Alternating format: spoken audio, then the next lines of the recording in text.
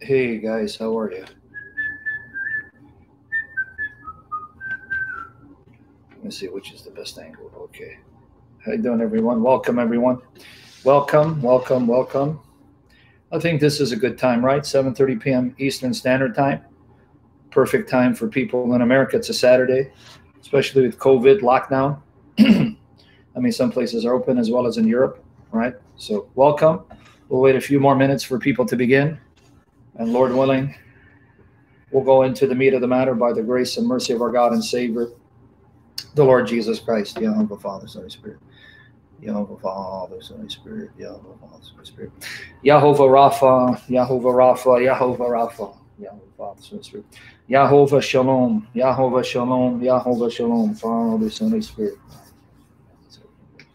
Jehovah Nisi, Jehovah Nisi, Jehovah Nisi. Yahovah Yira, Yahovah Yira, Yahovah Yira, Father, Son, Holy Spirit, in Jesus' name. Father, Son, Holy Spirit, in Jesus' name. Father, Son, Holy Spirit, in Jesus' name. Father, we love you. Son of God, Lord Jesus, we love you. Holy Spirit, we love you. We always want to begin by praising you, Father, praising the Lord Jesus, your Son, praising your Holy Spirit. Give us the grace to be in love with you, to perfectly trust in you and love you and cling to you to perfectly trust in, love, and cling to the Lord Jesus, your Son, to perfectly love, to be in love with, to trust in, and cling to your Holy Spirit, Father. We need you not just to preach, not just to teach. We need you to live for you. We need you to delight the heart of Jesus, your Son. We need you to be filled with the Holy Spirit. Empower us by your Spirit. Sanctify us by your Holy Spirit. Purify us, cleanse us by your Spirit in the blood of the Lamb, the Lord Jesus, and transform us to conform to the image of your Son, our God and Savior, the Lord Jesus Christ. Crucify our flesh, Father. Save us from our own sinful passions and the lust of the eyes and the lust of the flesh and the boastful pride of life. Crucify all of that in us.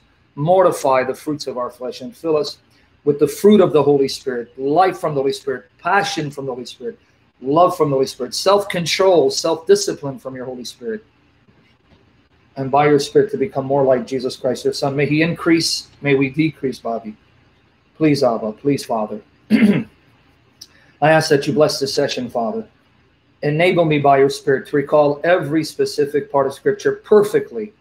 Perfect my ability to recall it and give me the power to live your word. Give us the power to live your word, to love your word, to proclaim your word, to understand your word for the glory of Jesus and save me from error and stammering and confusion. And Father, please save me from being a crowd pleaser. Sanctify my motives in the blood of Jesus, not to do it for the praise of men, not to do it for fame or fortune, and not to be unnecessarily offensive, Father. Please, my God. Yahweh, Father, Holy Spirit. Yahweh, Father, Holy Spirit. Lord, give us the grace to know when to be bold as lions, when we need to rebuke someone and chasten a fool for his blasphemies and when to hold back by the power of the Holy Spirit. Give us the grace to know when it's time to laugh and time to to have fun and time to joke and time to be serious and time to be patient and and just be an ear to hear someone and not just to correct someone or or challenge someone, please, Father, teach us how to glorify Jesus Christ in every sphere of our life socially, politically, economically, martially, maritally, religiously, and spiritually. That in every field of our life, Jesus Christ will be glorified and magnified, Father, and guide our conversations. Save us from, from shaming you and grieving you or blaspheming your holy name. Save us, Father, for the glory of Jesus. Save us by the power of the Holy Spirit. Cleanse us in the blood of Jesus Christ and help us to be patient with each other for the sake of Jesus, Father. Bless them, Father. These are your children, purchased by the blood of Jesus, born of your Holy Spirit. Bless them, Father. Convict them, Father. Convict me. Chasten us when we need to be chastened, but in your love and mercy. And give us the grace to be self disciplined so we can walk in the Spirit and crucify the flesh, Father. And illuminate us to pour into the scriptures, to plunge the depth of the scriptures, bring out the meat of scriptures, to feast on the scriptures, your voice to us, Father, and to live according to your voice, the scriptures that your spirit produced through holy men of God. so that we can truly become like Jesus Christ, not just hearers, but doers of your word. Please, Father, and destroy unrighteous anger, unholy indignation in, in us. Please, my God, and save us from attacks of Satan. Have your way, Bobby. Have your way, Abba. And please be with our loved ones. Those who are not saved, those who are saved, those in need. In my case, be with my daughters. Flood them. Flood those of our family members or our friends who need to be filled with your spirit, to be washed in the blood of Jesus Christ. Flood them. Flood my daughters in your love in the blood of the Lamb in your living waters, Holy Spirit, and preserve them and preserve us for your glory. We thank you, Father. We thank you, Lord Jesus. We thank you, Holy Spirit. Fill my lungs and my chest and throat with health, with the breath of life, and anoint the sound of my voice to be pleasing to the ears of your servants. Please, my God, please use these sessions and please let my motive be to glorify Jesus in these sessions. Please, may I disappear and decrease. Please, Lord, Help me not to make it about me, but about Jesus. Please, Lord. Please, Bobby. Please, Lord Jesus. Please, Holy Spirit. In Jesus' almighty name, Yahweh Father, Holy Spirit. Yahweh Father, Holy Spirit. In Jesus' almighty name, Yahweh Father, Holy Spirit. Please, my God. Yahweh, watch me, God, my Savior, King, Lord Jesus Christ. Watch me, my God, my Savior, King, Lord Jesus. May the Father grant me clarity of thought and speech and remove on all filth and wickedness and flesh unholiness from me and from all of us in Jesus' name. All right. Yes, thank you, Tunda. All right. Yes, Lord willing, hopefully we'll have a blessed session. I pray the Lord will bring people in droves who want to hear not challenge and pontificate or argue. Please help me to help you, brethren. Focus on the topic. Ask questions related to the topic. Don't let Satan distract you. Don't go into side issues. So I can be a blessing to people and not cause people to stumble. Please help me to glorify Jesus and bless you for the glory of Jesus. Focus, focus, focus when you hear someone bring up a point that you know it's not related to the topic, control yourselves for the glory of Jesus. Focus so you can learn because the purpose of these sessions is for you to learn so you can know your faith and be convinced of it and live it out by the power of the Holy Spirit. So please help me to serve you for the sake of Jesus. Right? There are times in which we can go and socialize and have fun and banter back and forth. And there are some YouTube channels that allow it. David Wood allows it. Jonathan McLatchy, these guys are okay with it. And they have the right to run their YouTube sessions the way they want. But for me, because I listen to you, when I say I listen to you, I'm I'm reading what you're posting. So I'm listening to you so I can gauge whether I'm helping you or confusing you because I want the Spirit to use me to help you and bless you because my goal is I want you to be in love with Jesus and be like Jesus and glorify Jesus. And I pray that for myself in Jesus' name. So with that said, what I want to do is I want to tackle this article by a Muslim. Let me get it. Sorry, guys. Sometimes my Mac freezes up on me. I pray the Lord will bless the connection. I pray it stay strong. Anna, what's up, my sister? Good to see you. Okay, guys, that's the article. Click on it. Save that article. Click on it. Save the article. All right. Okay. That article is posted by Paul Williams. Let me give you the background. Paul Williams. Paul Williams used to be a Muslim. He's no longer a Muslim, but he's still an anti Christian. What do I mean by anti Christian? He still hates biblical Christianity. He still hates the evangelical faith, right? And so, though he's no longer Muslim, he will still post uh, memes, articles, objections to the Christian faith, and still post positive stuff about Islam. Paul Williams left Islam because, again, it's not something personal. I'm not attacking him. He's an act. He's a struggling homosexual, right? He's a struggling homosexual who's been struggling with homosexuality, and so it seems like he's gone back to his homosexual lifestyle, which is why he left Islam because he knows one thing. At least I give him credit. I give him respect he will tell you up front, well, guys, if you click on the link, you'll see. When he keeps saying me, say who, guys, listen to me for the glory of Jesus Christ. Listen, click on the link because these are the objections he posted against the Christian faith. Paul Williams at least has the temerity, the honesty, integrity to admit homosexuality is abnormal behavior and it's an abomination according to the Bible and the Quran. Not so much the Quran, but that's what he believes. So he's honest.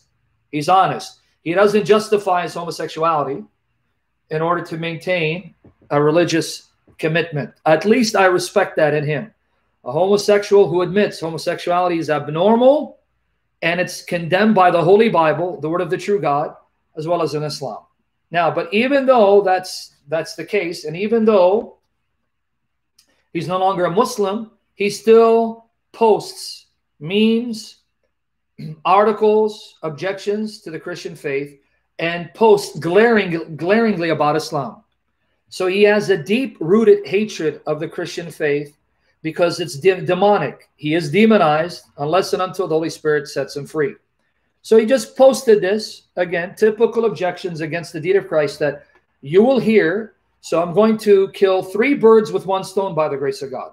By the grace of God, I'm going to kill three birds, one stone. Number one, I'm going to respond to the objections. Number two, in responding to the objections, and I want you guys to focus, in responding to the objections, you're going to learn more about your faith.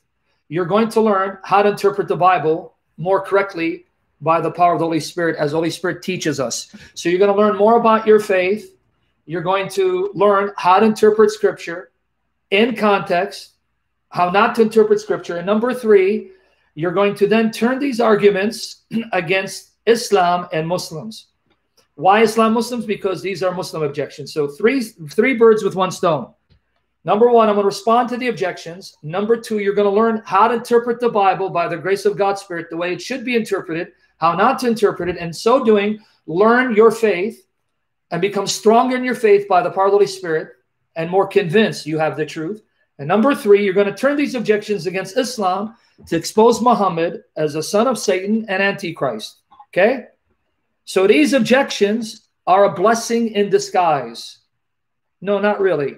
Sentient, seven, intrigue. Not so much Philippians 2, 5 to 11. See, again, I, when I said you're going to learn how to interpret the Bible and how uh, not to interpret the Bible. As the Lord Jesus cleanses my throat so I can use my voice to glorify him. So those are the three birds that I plan to kill with one stone. The three main objections, objectives Please, Holy Spirit, save me from error and confusion. Rebuke Satan in the almighty name of Jesus. Lord Jesus, cover us by your blood. Ooh, Satan hates us, right? Three main objectives. Okay. Now, with that said, there are some things I do want to touch upon in light of the previous sessions because some people either did not understand me correctly because I either wasn't as clear as I should or could have been, or they didn't want to understand me because they were scandalized by what I said. So let me make a point real quick. Gee, what a loser. Good job, buddy. All of a sudden, you decide to step out now. Could you be a bigger loser? You're the first loser and the last loser. But we still love you nonetheless. Okay. Yeah, what else? Yeah. These guys. I know, I know. You're you're like Adam. You blame the woman that God gave you. All right, now let's focus. I wasn't paying attention to what you said on Discord because I choose to ignore you. No, it's okay, first last. I love to hate you and I hate to love you. Now let's focus. Let's focus here. Someone asked me if I was saying that John 3, verse 5 teaches water baptismal regeneration. This is why, guys, let me repeat you need to make sure you've understood these sessions. Because one thing I don't want you to do is misunderstand me and then misrepresent me, because that would be shameful and scandalous to do so, that you misrepresent someone due to your ignorance or misunderstanding. This is why make sure you understand the points I make. And if that means you have to go back, rewatch, do so until you understood what I was saying. So let me repeat John 3, verse 5 again. John 3, verse 5. What did I establish in that session? Let me repeat again, because a lot of people did not get it. And I hope I was clear. If not, the Lord forgive me for lack of clarity. Everything good is from the Holy Spirit. I said that being born of water and spirit in that context meant water baptism. I thought I was clear. I was also clear, I thought, that when I said water baptism, in that context, in that context, okay, it's referring to the water baptism of John the Baptist. John the Baptist water baptism. And what was that water baptism for? For repentance of sin. So let me repeat it real quick, real quickly, so I don't get misrepresented again. John's water baptism was a baptism for the repentance of sins. In that, by getting baptized by John, you were acknowledging, pay attention, because I'm not going to repeat this again. You're acknowledging and confessing that you're a sinner who needs to turn away from your sins and turn to God and trust God to save you. Okay? That's the water baptism that Jesus was exhorting Nicodemus to undergo. Let me repeat it again. That was the water baptism that Jesus commanded Nicodemus to undergo. But then I said clearly, if you paid attention, that water baptism did not give you the Holy Spirit for regeneration and new life. You guys remember I said that? Remember I said it. Go back and rewatch. I said when people got baptized at that time, either by Jesus or John the Baptist, they still did not receive the Holy Spirit for new life to be born again. Why? Because I was clear. John the apostle wrote in John 7 38 to 39. He said that the Holy Spirit would not be given during Jesus's earthly ministry until and after Jesus died, rose again, and would be glorified. It was only after his resurrection, subsequently his glorification, where he'd be exalted to heaven, that the Holy Spirit would then be given to all those who followed him and, and waited upon the promise of the Holy Spirit to be given to them. Was that clear for everyone? Was that clear? Okay. What does that mean? The water baptism that Jesus performed in John 3, John 3 22, John 3 26, John 4, verse 1 and 2, did not give you the gift of the Holy Spirit for new life regeneration. That water baptism did not give you the Holy Spirit for new life, for regeneration, because the Holy Spirit will not be given until Jesus is glorified. What that did, that water baptism showed your realization that you're a sinner and your realization that you need Jesus to save you. So, by coming to that realization and following Jesus, Jesus would keep you by his spirit until he would send the spirit to now make you alive and indwell you and seal you for salvation. Is that clear? Right? But then I said, here's the point I want you to catch because I'm going to play a clip now. I'm going to play a clip now. okay? I'm going to play a clip. But before I do, then I said, the early church, these great men and women of the faith, some of whom were disciples of the apostles, or the disciples of the disciples of the apostle. Like Irenaeus was a disciple of the great Christian martyr Polycarp, Polycarp, a holy man, a holy slave of the Lord Jesus Christ, who I believe, guys, correct me if I'm wrong, I'm going by memory, and I'm trusting the Spirit to help me to recall these facts correctly. Please save me from error. Whom I believe was 86 years old when they burned him alive because he refused to deny the Lord Jesus Christ. If I recall, because I read it, but again, the church fathers are not like the books of the Bible. The books of the Bible you read or you hear over and over again, not with the church fathers. The church fathers are different. Yeah. Yeah, Tony. There's something called the martyrdom of Polycarp. The martyrdom of Polycarp, which you can read free online, which is supposed to be based on eyewitnesses who saw him being burned. He was given the chance to deny Jesus Christ and spare his life. And he refused. He said, How can I deny my Lord who's been nothing but good to me for all 86 years of my life?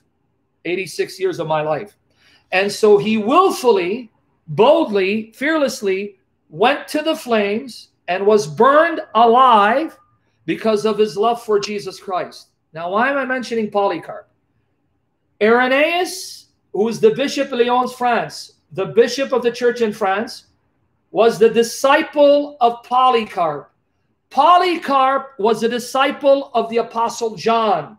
The Apostle John, who wrote the Gospel of John, the letters of John, and Revelation by inspiration of the Holy Spirit, who walked with Jesus, talked with Jesus, knew Jesus, who was in love with Jesus, and Jesus was in love with him. So notice the pedigree Irenaeus, Polycarp, John. Now, why am I mentioning them?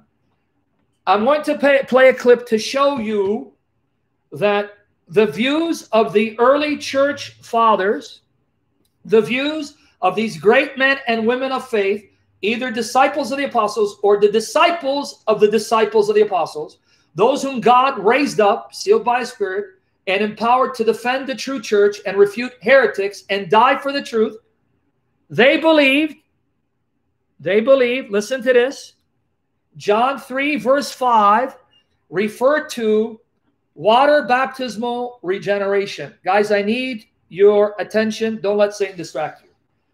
From the second century on, any time and every time a church father quotes John chapter 3, verse 5, they always interpret it in reference to the baptism that the Lord Jesus sent out the apostles to carry out after Jesus went to heaven, that baptism in the name of the Father and the Holy Spirit, and they believe that water baptism is what gives you the gift of the Holy Spirit and causes you to be born again. That's what they believe. So let me repeat. John 3 5 in its context is referring to John the Baptist's water baptism. That baptism did not give you the gift of the Holy Spirit because as long as Jesus was on earth, the Holy Spirit would not be given to people for new life. It's only after Jesus' resurrection that he breathes the Holy Spirit on the apostles. Only after his ascension, then he pours out the Holy Spirit upon them to empower them from that moment on, the Holy Spirit would be given. So the church fathers took from John 3 5 that now, after Jesus went to heaven and has poured out the Spirit, now when a believer gets baptized in water in the name of the Father and of the Son and the Holy Spirit, then he is given the Holy Spirit at that moment. And at that moment, the Holy Spirit makes that person alive and his sins are forgiven. KJ, KG, if you're listening, I just said the church fathers said yes. Are you listening to what I'm saying? That's what they believe. This was the view of the church, and it was the unanimous view. So, in light of that, I hope you understood what I'm saying and what I'm not saying about John 3 5. I hope you got it. Please don't misrepresent me. But now I'm going to play a clip. And here's a challenge for every one of us, even for me. And I'll tell you why it's a challenge for me. I'll explain it in a minute, but focus, please. Don't let Satan distract you because this is your church history. These are your, listen, whether you like it or not, you Protestants, all of us, these are our spiritual ancestors, our spiritual forebears, the men and women that God raised up to preserve the church, to defend the church, and die for the church. They were not heretics. Okay. I'm not saying they're infallible, but neither are we. So we have to hear them out, study what they have to say, and seek the face of the Holy Spirit to guide us into all truth to see when they are right and when they got it wrong. Because again, not every father got everything right. Thank you. But now pay attention to this. Here's the challenge for all of us. And I'll explain to you why it's a challenge for me. Challenge for me. I'm going to play a clip from a dialogue, a discussion between James White and Jimmy Akin on the Bible Answer Man when Hank Hanegraaff was an evangelical Christian. Are you guys ready for this?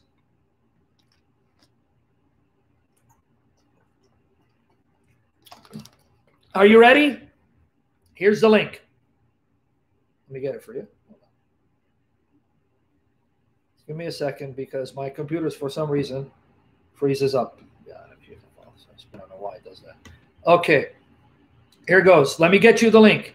Bible alone debate, Jimmy Akin, James Akin versus James White. Okay, here's the link. We're going to start around the 25 minute mark. The 25 minute mark. Please, when I give you links, save them. Okay, now listen. Let me give you a story about Jimmy Akin. Jimmy Akin is a full time apologist on staff for Catholic Answers International. He's one of their top apologists, and he's on staff with Catholic Answers International. Now, Jimmy Akin used to be a Protestant who became a Roman Catholic. He had a discussion with James White on the Bible Answer Man when Hank Hanegraaff, Hank Hanegraaff was evangelical. Because a lot of you may not know, Hank Hanegraaff is now Eastern Orthodox.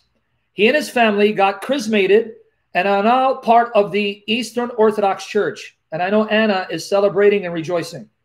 And she's praying for me to join because she has a five carat diamond for me when I do. Anyway, around the 26 minute mark, guys, I'm going to play it. Listen.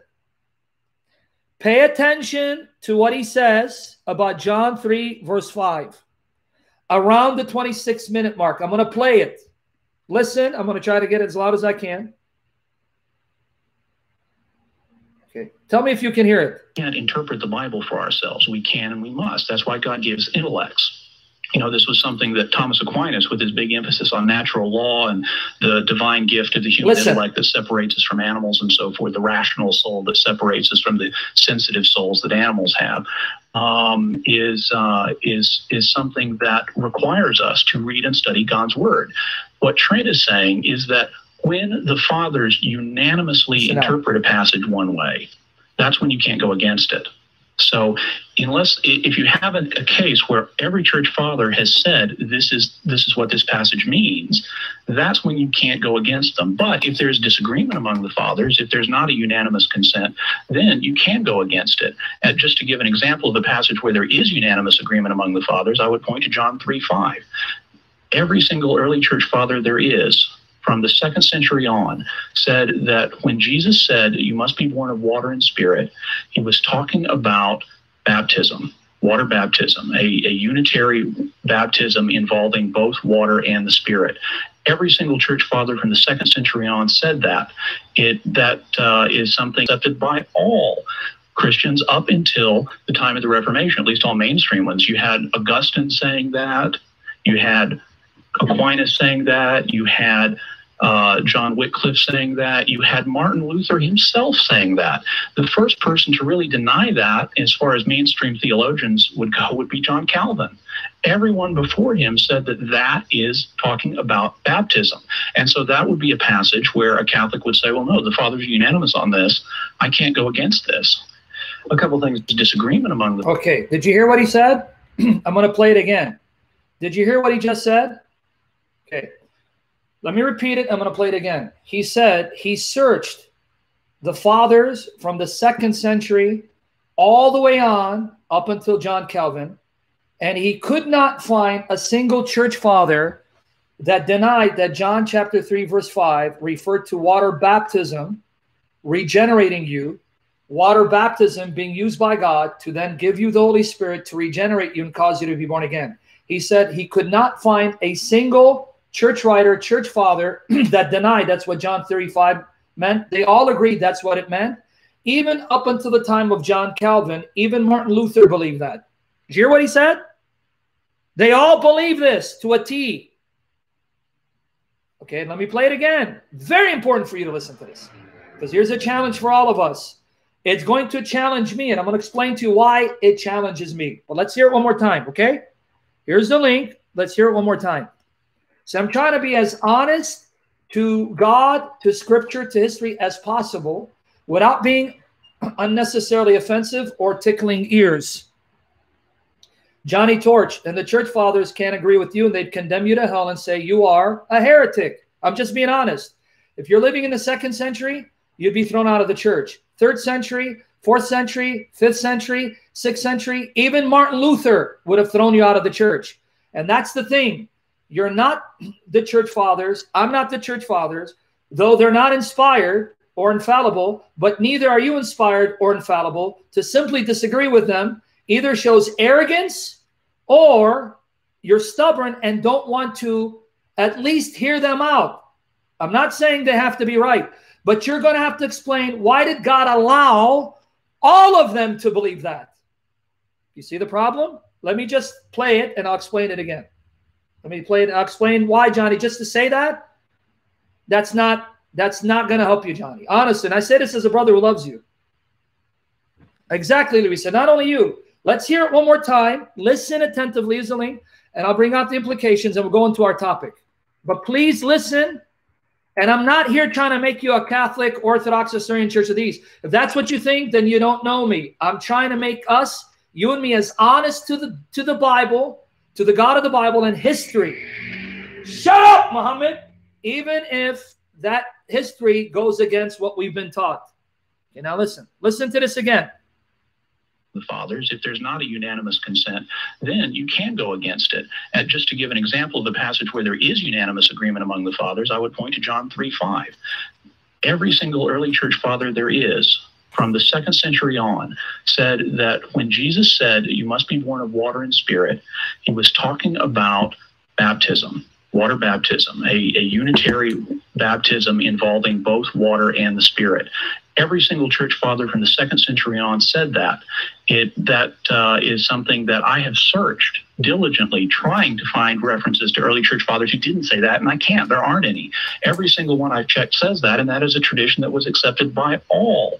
Christians up until the time of the Reformation, at least all mainstream ones. You had Augustine saying that, you had Aquinas saying that, you had uh, John Wycliffe saying that. You had Martin Luther himself saying that. The first person to really deny that, as far as mainstream theologians would go, would be John Calvin. Everyone before him said that that is talking about baptism. And so that would be a passage where a Catholic would say, well, no, the fathers are unanimous on this. I can't go against this. A couple things. Okay, that was around the 26 minute mark. Clip it and listen to it. So, guys, let me repeat again Johnny, are you serious to use that example of the thief on the cross?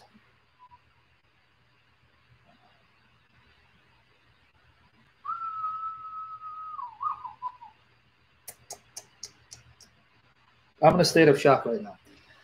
Here's a guy nailed to the cross. He's about to die, and you expect him to be taken out of the cross to be baptized.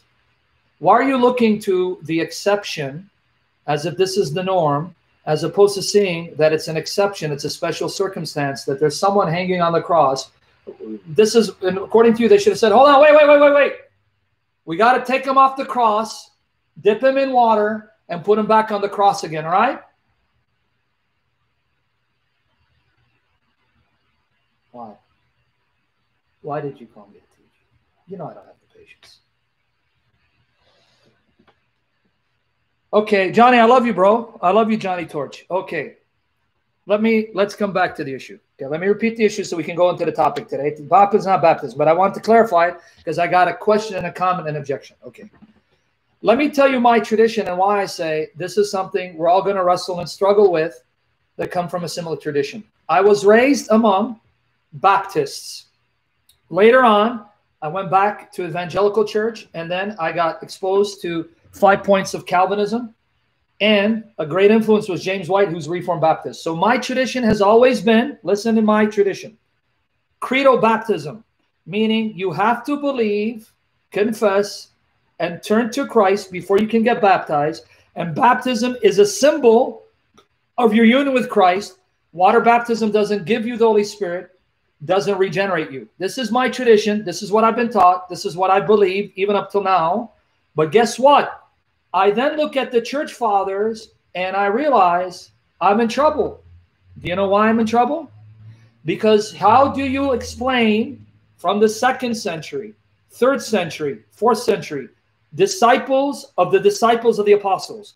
Irenaeus, disciple of Polycarp, a disciple of the apostle John, who wrote John 3, verse 5. And everyone that comments on John 3, 5, even Martin Luther, all believed unanimously John 3 5 is about water baptism, and it's at water baptism God gives you the Holy Spirit to be forgiven and be born again. So, water baptism goes with spirit baptism, they go together. And this was the belief of Christians up until even the time of Martin Luther, and even today, as we speak, not just Catholics, not just Orthodox, not just Assyrian Church of the East, Coptics, but even Lutherans and I believe even Episcopalians. So, Christians, if you're like me and you believe credo baptism like me, and you believe like me, water baptism doesn't give you the Holy Spirit, but it's the sign and symbol that you're born of the Spirit and united to Christ, we got problems. We got issues that we need to wrestle with. We can't ignore because these men are not Joe Schmoes. Irenaeus is not a nobody. Irenaeus is not just a martyr of the church, a brilliant theologian of the church. He's the disciple of Polycarp, another martyr who's a disciple of the Apostle John. If you're going to tell me they got it wrong so early, then where was God to make sure the church didn't fall into such obviously, quote unquote, false doctrine early on? Where is Christ to protect his church and guide a church to the correct interpretation of these passages? So it's not just saying, I don't agree with them. The implication of Christ involved in preserving his church and guiding his church in such a way that they don't fall into such false, damnable teaching. Because if they did, then who was saved? And if none of them was saved, where was Christ to preserve his church? See, it's not just easy to ignore it. So here's my challenge to every one of you. Here's my challenge to every one of you. I want you to go to your favorite Protestant apologist, whoever it is, ask him the question Can you cite a single Christian for the first 1600 years, with the exception of John Calvin, that represented the true faith, not heretics, that interpreted John 3 5 other than water baptism and denied water baptism was used by God to give you the Spirit to cause you to be born again. Can you cite one? So here's my challenge to you guys go to your favorite Protestant apologist, be it Mike Winger, William Lane Craig, Frank Turek, James White, ask them. Matt Slick, ask them. Cite a father for the first 1600 years, not John Calvin, he was the first, that said John 3 5 is not about water baptism, and water baptism isn't used by God to cause you to be born again, to receive the Holy Spirit, and to forgive you. Cite one. Okay? That's what I'm going to leave you with. That's what I'm going to leave you with. Notice what I said my tradition is. I'm a credo Baptist. I believe that someone has to recognize Christ, believe and turn to him before he can get baptized. And water baptism is a sign and symbol of your union with Christ, not the act in which the Holy Spirit is given to you. And yet here I am faced with this evidence and I'm thinking, what do I do with this God? What do I do with this evidence that you've now put before me, confronting me that I can't ignore, that I'm wrestling and struggling with. Here we go. Original designer. What about the thief on the cross? Oh my goodness. Okay, original designer. Let me use your logic. Here goes another guy with a, thief on the cross. Original designer. Let's think about it. Hmm. Let's think about it. Here's a guy nailed to the cross. He's about to die. So according to you, they should have said, "Hey, wait, wait, wait! Hey, centurion, hold it! Take him off the cross, baptize him, and nail him back on the cross. Stupid! I don't care he's about to die. I don't care that his case is exceptional. I don't care that he can't go to church and take communion like everyone else is supposed to. Hey, you better take him off the cross and dip him in water. Darn it! Are you guys serious? I mean, dude, aren't you even embarrassed to use him as an example? I mean, when people use right? What about the thief on the cross? Let me think. Hmm. He's got spikes in his hands and his feet. He's gasping for air. He's about to die. And you really expect, I mean, come on, dude, common sense. Bring him off the cross. Why? Don't you see he just confessed Jesus? And he's got to get baptized in water now. Yeah, uh-huh, hmm, yeah. Huh? Don't you know John 3 5? Stupid!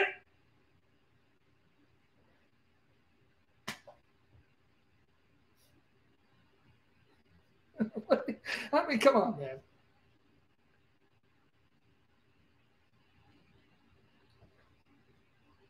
Okay. I mean, come on, man. Really?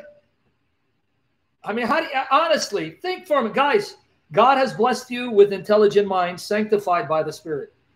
Honestly, I'm not making fun. The Holy Spirit has given you a mind to understand. Think about that example for yourself. How can this man get baptized? How can he take communion? How can he go to church and evangelize? All of which, as Christians, who are healthy enough and strong enough to do so are expected to do so if we love the Lord. When the guy's hanging on the cross, he's about to die. You expect him to do all of that? Hey, yo, you're probably not listening to what I said, so I'm going to ignore your comment because you're obviously not listening and you want to just preach your agenda, Ayo Israel. Now, with that said, let's go to the topic. Was that clear? I hope I clarified for the record. Luis and everyone else, we who hold to credo baptism, we got a lot of wrestling and struggling to do.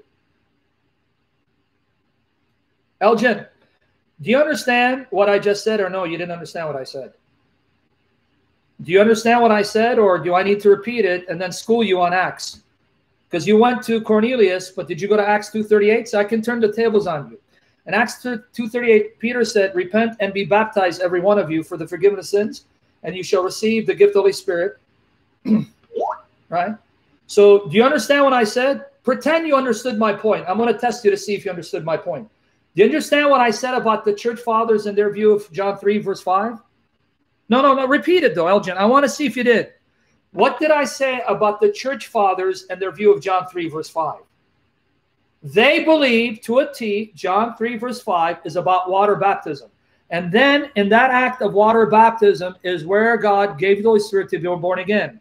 That's all I said. That's all my point was. That's how they understood John 3, verse 5.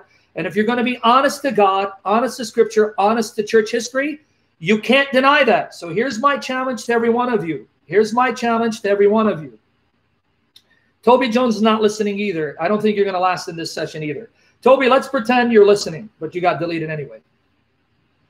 Here's my challenge to every one of you. Here's my challenge to every one of you.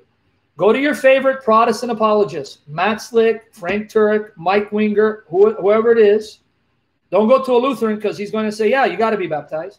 Don't go to someone who does believe in water baptism or regeneration, like Church of Christ, ask them, say, is it true that John 3 5 was interpreted unanimously from the second century, even up to the time of Martin Luther, to refer to water baptism being the means through which the Holy Spirit was given for regeneration?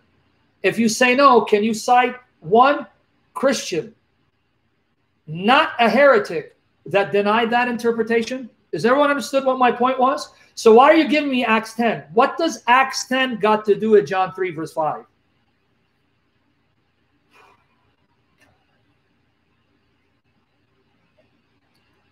Gee, you know, I'm going to block you for that, right? Because you just mentioned the thief on the cross that I just refuted twice because two other people before you made the stupid mistake of mentioning the thief on the cross, right? Yeah. What does Acts 10, 43 to 48 have to do with John 3, verse 5, its contextual meaning and its understanding, interpretation by church history? Does everyone understand? John 3, 5 is the focus of my discussion because I was asked a question about my session on what does it mean, water, spirit. And everyone understand that I'm talking about the church's unanimous interpretation of John 3, 5 do I have to repeat it again? Right? Everyone there? If that made that point, don't ask me unrelated questions about Acts 10. I've dealt with Acts 10 in light of Acts 238. Remember what my tradition is. Here's my belief, my background. Let me repeat what my background is. I'm a credo Baptist, meaning I believe that someone must confess and turn to Christ and be baptized. And I believe baptism represents, symbolizes your union with Christ and that you've been born of the Spirit. But I'm also honest enough to tell you that my view is not the view of the church of the second century, the third century, and the fourth century, and the fifth century. It's not even the view of Martin Luther. Even Lutherans believe in water baptismal regeneration. Can I prove that to you? I'm going to give you another YouTube video. This is by Jordan Cooper. Jordan Cooper is a Lutheran. Jordan Cooper is not Roman Catholic, Orthodox, or Assyrian Church of the East. He's a Lutheran, and he did a two part response to Brian Schwertley, proving, as far as he's concerned, that the Bible te teaches water baptismal regeneration. And he is Lutheran. He is not Catholic, Orthodox, or Assyrian Church of the East. In other words, this is not uniquely a Catholic teaching. There are people who are not Catholic, not Orthodox, that believe it. And you'll find from the second century, third century, fourth century, all the way till the time of Luther, this was the belief of the church. Not of heretics, but those that represented the true Orthodox historic faith. Here's the video. So you guys have a lot of wrestling to do. You guys had a lot of struggling to do. You guys have a lot of thinking to do, as I do, as I do. So that's all I'm going to say there. Are you with me there? That's all I'm going to say there. Here's the link. Dr. Jordan Cooper. You're going to see that Dr. Jordan Cooper will use the same passages that the early church used, that Catholics use, Orthodox use, Assyrian church uses, Coptics use, same passages, but he's a Lutheran, he's a Protestant who follows Martin Luther. Okay, here you go. Here's the link again. So I hope I clarified what John 3, verse 5 means in its historical contextual context and how the church interpreted it from the second century onwards. So, folks, if you're like me, we got a lot of wrestling, a lot of struggling, a lot of thinking to do. We can't simply ignore it and oh well that's you know that's their opinion. No it's the opinion of holy men and women of god that god raised up and empowered by his spirit to defend the truth to defend the true church and to die for the true church. And they all agreed in this regard. You can't just simply say oh, these are your spiritual ancestors the men and women that god used after the apostles to preserve the scriptures and his church. So we're just going to ignore them? All right that's between you and God. Keep ignoring them. So now that I've clarified, let's go into let's go into the objections against the deity of Christ. At least something more neutral that we can all agree. Ooh, man, the church fathers really hurt people. They hurt everyone. Ayo Israel, why you asking me about tongues, brother? A lot of snack bar. I like to eat a lot of snack at the snack bar. I like, like to eat a lot of snack at the snack bar. A lot of snack bar. I like to eat a lot of snacks at a lot of snack bar. A lot of snack bar. A lot of snack bar. And I'm saying a lot at the snack bar. I didn't say Allah Akbar.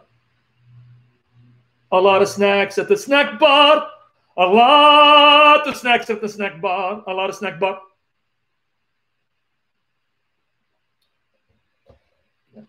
You're, you're going to get stammered, all right, Mr. Truth. Keep changing the topic to embarrass yourself and Muhammad.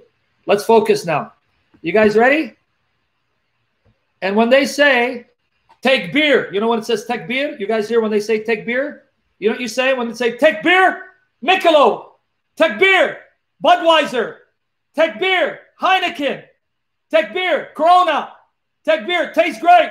Take beer, less filling. All right, let's begin in Jesus' name. Here it is. Here's the article that we're going to be addressing. Hopefully, we'll have a good crowd. May the Spirit bless for the glory of Christ. Focus now. Please, guys, now help me. Focus. We're now focusing on these objections against Christ from this Muslim blog. Even though he's no longer a Muslim, he's still pro Islam. Help me to help you focus on the topic. Don't ask me questions on a related topic. In due course, in time, we'll be discussing water baptism. Do you know why? Because I plan, Lord willing, on doing a series on the Nicene Creed. Nicene Creed, and there is a statement in Nicene Creed where it says, I believe in one baptism for forgiveness of sins. God willing, we'll get there. If God gives me health and holiness, and if God preserves me for the glory of Jesus, and God provides for me, and you guys still want to come and listen to me and still benefit from me, please, Father, in Jesus' name, bless the connection, rebuke the buffering. If you guys still want to come and listen and benefit from me, I will get into the Nicene Creed sooner than later. There's a lot of plans that I have for this YouTube channel, if God is pleased to use me for his glory. So let's begin. Here it is. Here's the article.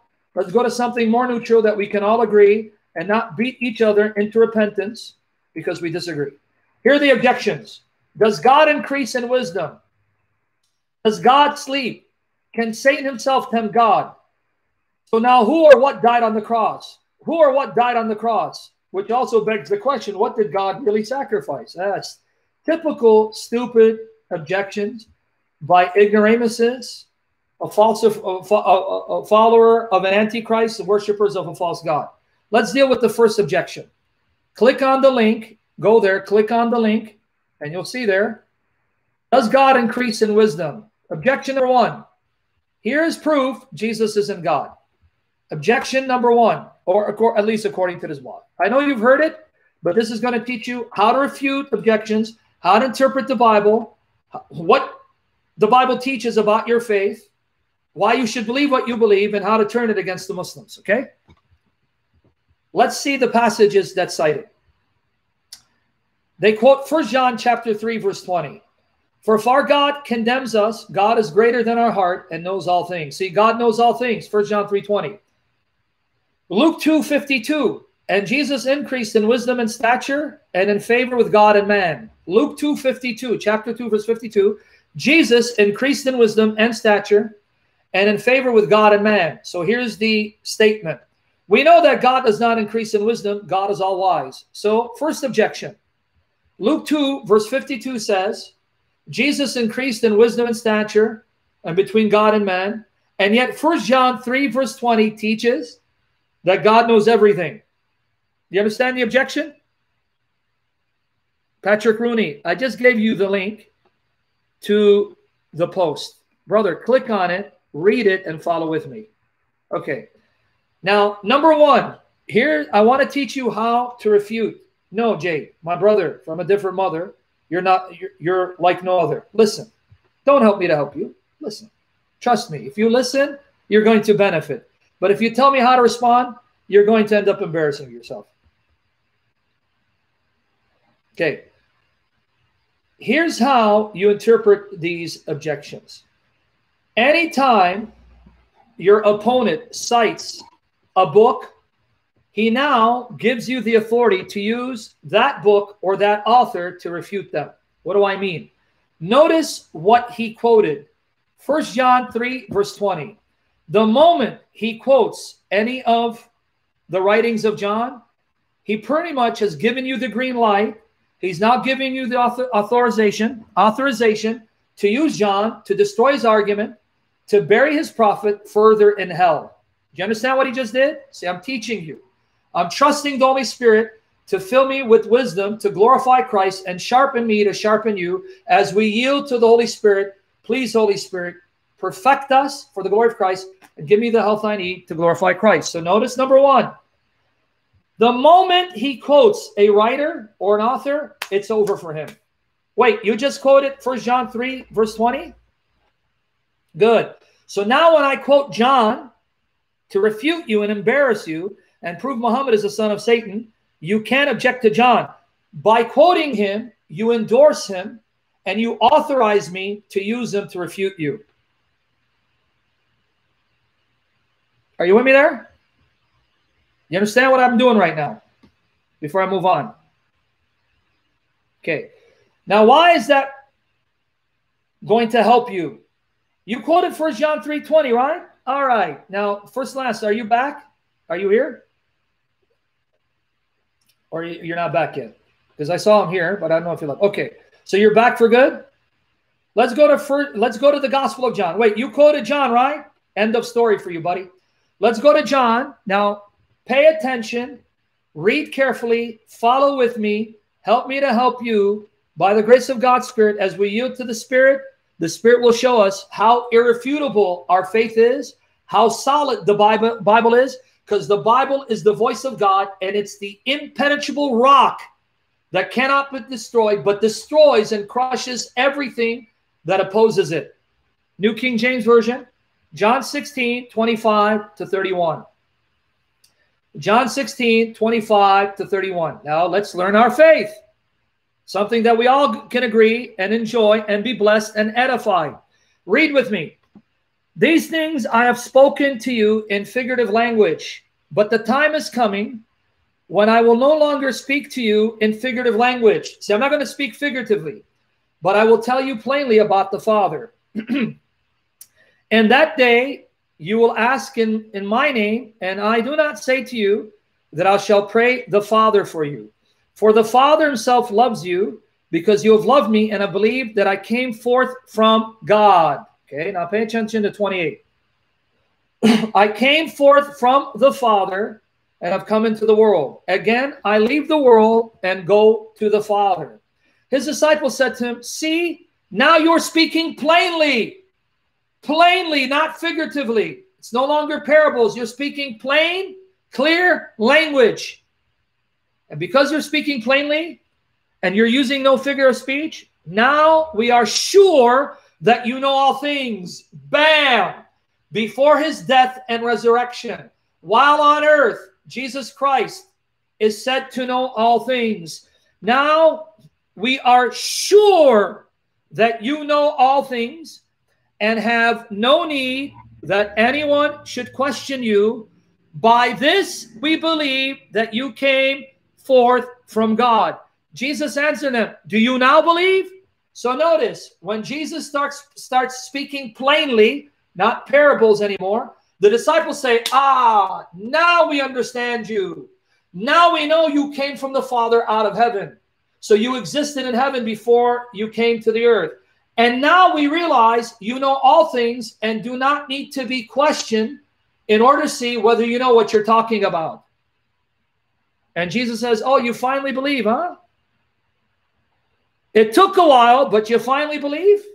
Now, let me explain what it means. You need no one to question you. You either ask questions because you want to learn, or you ask questions to test if someone knows what they're talking about. Oh, yeah? You think you're an expert on the subject? Well, how do you answer this? When he answers, like, wow, man, you really know your stuff. No need to ask you anymore. That's what they're saying. Yes, this is before his death and resurrection. What's there to be confused about? In John 16. It's right there. Right? So, number one, did Jesus know all things before he died while he was on earth? Yes. Did Jesus continue to know all things after he rose again? Yes. Because in John 21 17, three weeks after his resurrection, John 21 17, but we're going to read John 21, verses 15 to 17.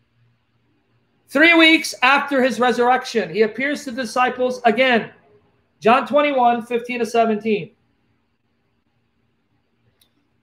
So when they had eaten breakfast, Jesus said to Simon Peter, Simon, son of Jonah, do you love me more than these? Meaning the fish.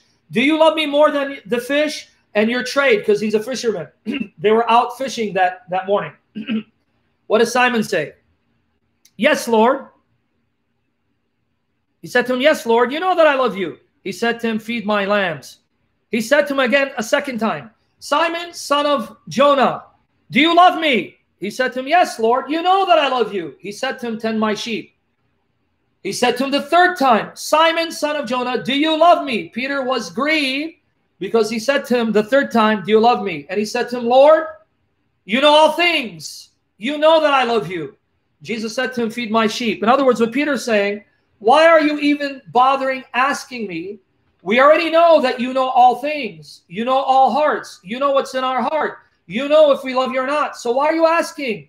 You know all things. So wait, before his death, he knows all things. After his death, he knows all things. So Jesus wasn't asking because he didn't know. He was asking for a different reason. Making sense?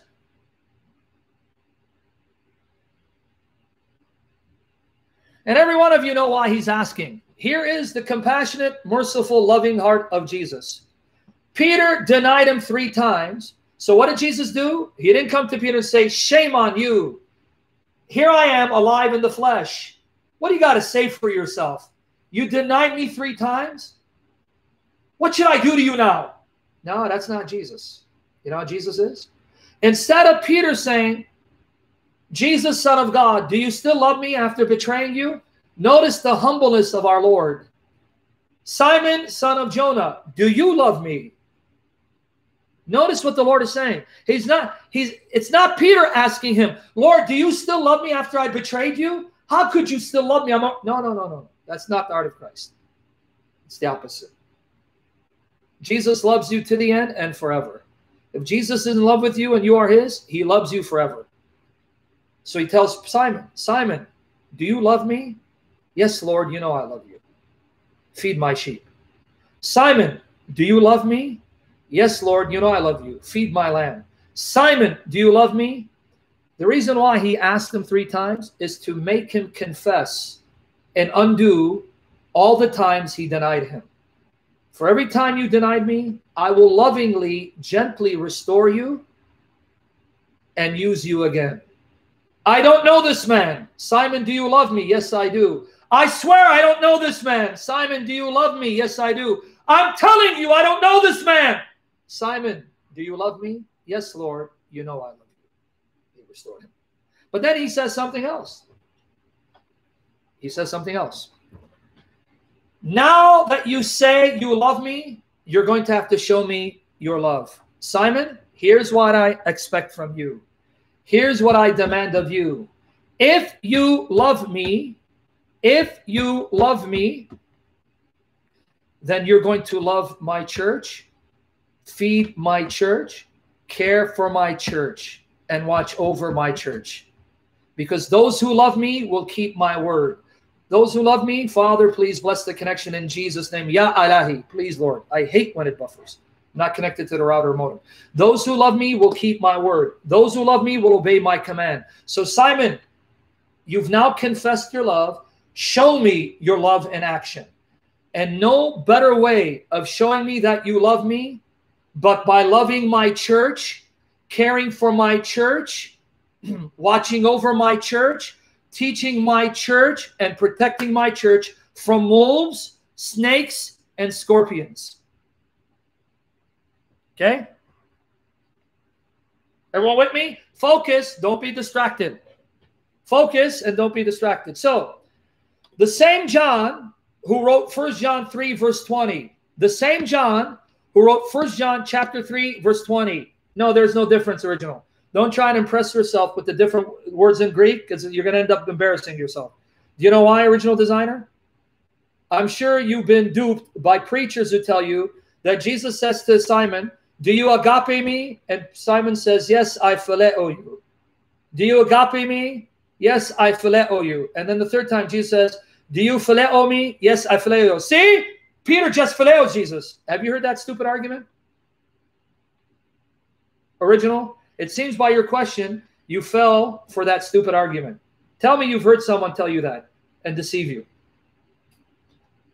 Were you deceived by that argument? Tell me so I can help you. Original designer. Folks, you're going to hear a silly, stupid teaching that unfortunately I bought into because I was an ignoramus. But thank the Lord that when we seek his face, when we seek the Holy Spirit, he doesn't leave us ignorant anymore, but gives us the desires of our heart. And if we want to know him, he will make himself known and give us wisdom to know him and love him. Guys, you may not see it in the English. In the Greek, this is what you read. John 21, 15. Let me get you the link. Hold on. Okay. It's sad that people teach these things, but it's okay. Here. Here. I fell for it too, guys. So don't don't feel bad. Let me show you. So again, we're gonna take time with this. You want meat, right? You want me to go in depth and meat, not rush through this? It'll be educational. Hopefully, it'll entertain you, but hopefully, it'll educate you and stretch you. Now, original, everyone else, there's the link. You click on it. If you go and look, you don't even need to know the Greek. Just read the transliteration. It says, Simon, son of John, love you me, agapas me, agapas me, then go and read what he says. It says, philo, si, philo, si, philo. Oh, no, no, philo. It's phileo. It's philo from phileo. Notice Peter didn't say agape. He said phileo. Peter, you agapas me? A philo, si. Tikanis, kasi ka la? You see that? See, they'll tell you it's two different Greek words. Focus, guys. Two different Greek words. See, Peter doesn't agape Jesus, he only phileos Jesus. oh, these arguments, man. Okay, but then the third time, Jesus changes the word. Because now Jesus says, Simon, do you phileas me? Phileas me, not agapes me, from phileo. You understand the argument? Jesus went from saying, Simon, do you agape me? And Peter said, No, I just phileo you. And then Jesus again said, Simon, do you agape me? Nah, I just phileo you. And then the third time says, Okay, Simon, do you phileo me? And he got hurt. Yes, Lord, you know I phileo you, even though I don't agape you. Seriously? No, honestly, that's what the, I'm not exaggerating. I've heard sermons on this. David Banham, why would you be so stupid to ask me about the Aramaic when the only thing that you have is inspired Greek? So you're saying that the Holy Spirit misguided John because he didn't write it in Aramaic? For that, you need to be blocked and sent back to mommy. Get him out of here for that salmon. Okay, sorry, I just said okay. Now, for the rest of you, let me tell you why that's a foolish argument. Just like English, even in Greek, words can be used synonymously. Agape and phileo can, depending on the context, have different nuances of meaning, but also can overlap and be used synonymously. Are you with me there? Okay. Yes, there are places in which there may be a slight nuanced meaning to the use of phileo in contrast to agape. But Oftentimes, they're used interchangeably. So that agape will mean phileo, phileo will mean agape. You'll find that in many languages. Okay. Here, I'll give you an example. I can say to Anna, I love you, or I can say, I adore you. And in Assyrian, if I say to uh, Bratet Mshicha, imach ibayinnach. See? They're different words, but they are synonymous. It's the context that will determine if they're synonymous. But if we're going to play that game, you know what you end up proving? You end up proving that in John 5:20, the Father doesn't love Jesus, he merely likes Jesus. Do you know why? Because in John 5:20, Jesus says, "The Father phileo the Son." John 5:20. For the Father loves the Son. Original designer. Do you know what the word love there is? When Jesus says the Father loves the Son, it's not agape. It's not agape. It comes from the word phileo. It's right there. He puts to the Greek, O God, pater, phile, phile, ton weon, ton weon, phile, from phileo. Now, who would be that dumb to say, see, the Father only likes Jesus a lot because he phileo the Son, but he doesn't agape him. Seriously? But can I tell you which retarded translation does translate it differently? The New World Translation in John 5:20. In John 5:20. The New World Translation actually translates phileo differently. It says the Father is having affection for the Son. You see it? John 5:20. For the Father has affection for the Son. Did you catch it? You see how they translated the word phileo? That's an old translation of Jehovah's Witnesses. The Father has affection for the Son because they too bought into this stupidity that if it's philei from phileo, then it has a different shade or nuance of meaning than agape.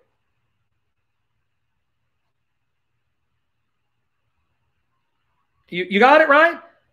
But in John 3:35 in John 17:24, we are told the Father agape the Son, and the Father has been agapeing the Son from before the world was created. Who in their right mind would think just because here it's phileo, that means the Father doesn't have agape love for the Son, and that his love is not intense and infinite and perfect. Okay? So anyone who tells you in John 21, 15 to 17, that there Jesus said, Simon, do you agape me? Nah, Lord, I just phileo you. Oh, okay. Simon, but do you agape me? Nah, Lord, I just phileo you. All right, Simon. I'll settle for phileo. Do you phileo me? Yes, Lord, I phileo. All right, I'll have to settle for phileo. Really? Does anyone think for a moment that's the meaning of John 21, 15 to 17? Jesus is settling for less than agape? Do you agape me? No, I phileo you. But do you agape me? No, I phileo you. All right, I'll settle for a phileo. All right, Jesus, now we got a deal. Right? It's like me saying to someone, a girl, do you love me? Nah, I just like you. Come on, sweetie, do you love me? No, I like you. All right. But do you like me enough to go out with me and have some ice cream? Yeah, I like you enough. Okay, remember, you can only get married on this side of eternity. okay, we're good. All right. All right. You understand it's silly, right? So what are you trying to say, Anna? You phileo me, but you don't agape me, Anna? All right. All right, but anyway, did we answer that objection? Gee, Diana, you would know, huh? All right. Everyone else, do you understand? Don't make a big deal over the fact that in the Greek, the words are not the same. Understand, like any language, you can use two different words synonymously. You can say perfect, you can say complete. You can say love, you can say adore, and it means the same thing. How do you know when it means the same thing? Context. How do you know when it may not be mean the same thing? Context. I'll give you example of context here. Do you love me? No, I don't. I like you, but I don't love you. See right there, I can see like doesn't mean love. You get my point? Context will determine what the words mean. Obviously, Peter's not going to say to Jesus, Lord, I don't know if I agape you. You know, I'm having some doubts whether I can agape you, but will you settle for phileo? After all, I denied you three times, and now you've been raised from the dead, immortal, deathless, and now I know you're God in the flesh, but all I can give you is phileo. Oh, could you settle for that? Yeah. Oh, oh. Uh-oh. Now, definitely, if I use phileo for David Wood, if I use phileo for David Wood, you know it ain't agape because that man makes it impossible for anyway anyone to agape him. So, David, I phileo you. Yes, David, I phileo you. Yes, I phileo you, David, because there's no way I can agape a white supremacist like you. Anyway, with that said, can we regroup? Exactly. I don't agape that white supremacist. In fact, David, I Chick fil A you. Yes, Chick fil A. Yes, I Chick fil A you. That's all I'm going to take you is to Chick fil A and buy you a 50 cent. Well, they ain't got nothing for 50 cents. Okay, with that said, everyone, let's regroup by the grace of God. Haterwood is here learning sound theology so he can steal my material, package it, and make millions while I struggle and panhandle. But that's okay. I'll carry him and bust my back carrying him until the Lord calls me home. Yep, refill, 50 cent refill. With everyone else, you understand what we just did? The gentleman quotes First John chapter 3, verse 20. The gentleman quotes First John chapter 3. This buffering, yeah, I hate it. Guys, usually the buffering doesn't cause problems. And it's been doing wonderful, but for some reason it buffered right now. But in Jesus' name. Anyway, now learn this principle. Learn this principle. The moment someone quotes an author to refute your faith, that's it. You've got him. Understand this principle, guys, please. I want you to learn this, make it second nature to glorify Jesus Christ, okay? If he quotes John, that's it, game over. You're going to quote for John? Well, let me tell you what John shows. No, no, no, no. John is not reliable. Wait, hold on. Who quoted John? You did. So if John is good enough to prove your point, John is good enough to then refute you and decimate your religion and show that Muhammad is a son of Satan. So number one, did we establish from the same John who wrote First John that in the Gospel of John, Jesus knows everything while he was on earth, before his death, and even after his resurrection. Did we establish that? In John 16, 25 to 31, and John 21, 17, Jesus, before his resurrection, after his resurrection, knows all things, and it's not hyperbole. How do we know it's not hyperbole? Because in John 16, 25 to 31, it said, I'm speaking plainly, not figuratively. Plain language. And the disciples say, Ah, now that you're speaking plain language, not figuratively, now we get it. You know everything, and you came from the Father, from heaven into the earth, not figuratively, not hyperbolic, hyperbolically, but literally. Not hyperbolically. Literally, you know everything. That's why we don't need to question and test you anymore. And you did come from the Father, from heaven into the world, right? So that was John. But wait, he quoted Luke as well. We're going to have a field day with this objection. He quoted Luke as well. I'm going to do a multi-part series on this blog. Save the blog, save the arguments, lest he removes it. Lord Jesus willing, we're going to systematically decimate it. And in so doing, you're going to learn your faith, learn how to interpret the Bible, how not to interpret it. Be strengthened in your faith that you have the true God and Christ is God in the flesh. The Bible is his word and turn it against these anti-Trinitarians. Okay. Now he went to Luke 252. Hmm, you mean the same Luke that says the following in Luke 10 22? Remember, once he quotes an author, he's stuck with that author. Let's go to Luke 10 22. He quoted Luke 252. Let's go to Luke 10 22. Now, read with me, folks. Guys, please help me to help you learn, grow with me by the power of the Holy Spirit so we can know our faith, be assured of our faith, love our faith, love the God of our faith and his word for the glory of Jesus. Luke 10 22. All things have been delivered to me by my Father. All things have been delivered to me by my Father. No one knows who the Son is except the Father, and who the Father is except the Son, and the one to whom the Son wills to reveal him. One more time, Luke 10 22. Mods, you have my permission. If there's any satanic distractions, people not behaving, you can send them on their merry way. Read with me Luke 10 22. All things have been delivered to me by my Father, and no one knows who the Son is except the Father, and who the Father's Father is except the Son, and the one to whom the Son wills to reveal him. Talk about meat. Even liberal critical critical scholars, liberal critical scholars say this is an astonishing assertion that sounds like the Gospel of John, right? They call it a Johann, Johann, Johannine, Johannine, Johannine, Johannine, Johannine, Johannine, Johannine. Ugh, say that five times fast. Johannine or Johannine or Johannin or Johannine, thunderbolt.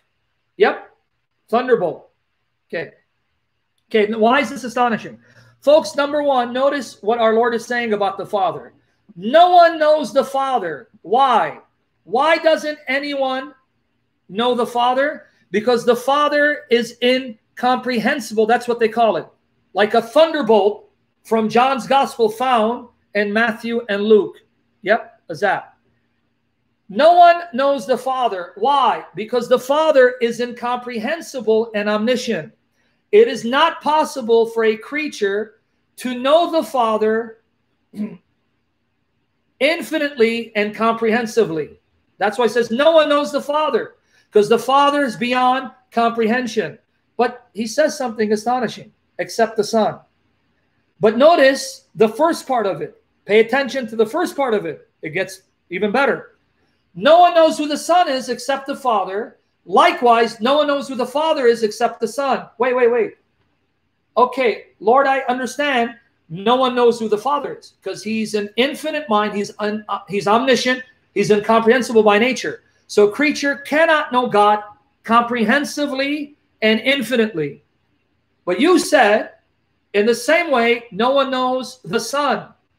Are you claiming to be incomprehensible and omniscient like the Father is?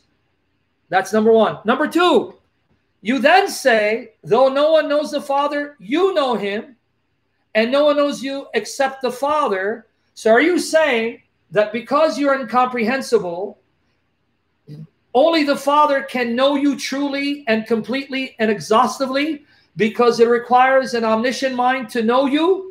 Implication, you two are beyond comprehension. But then you say you know the Father the same way the Father knows you. But Lord, hold on. The Father knows you inside and out, knows you completely, comprehensively, knows every thought of yours. Are you saying you know the Father the same way He knows you? You know the Father to the same extent that the Father knows you? So that the Father who's incomprehensible, omniscient, but you know Him inside and out, and only the Father can know you truly because, like the Father, you too are incomprehensible, omniscient. That's what you're implying in this saying. Did you get it?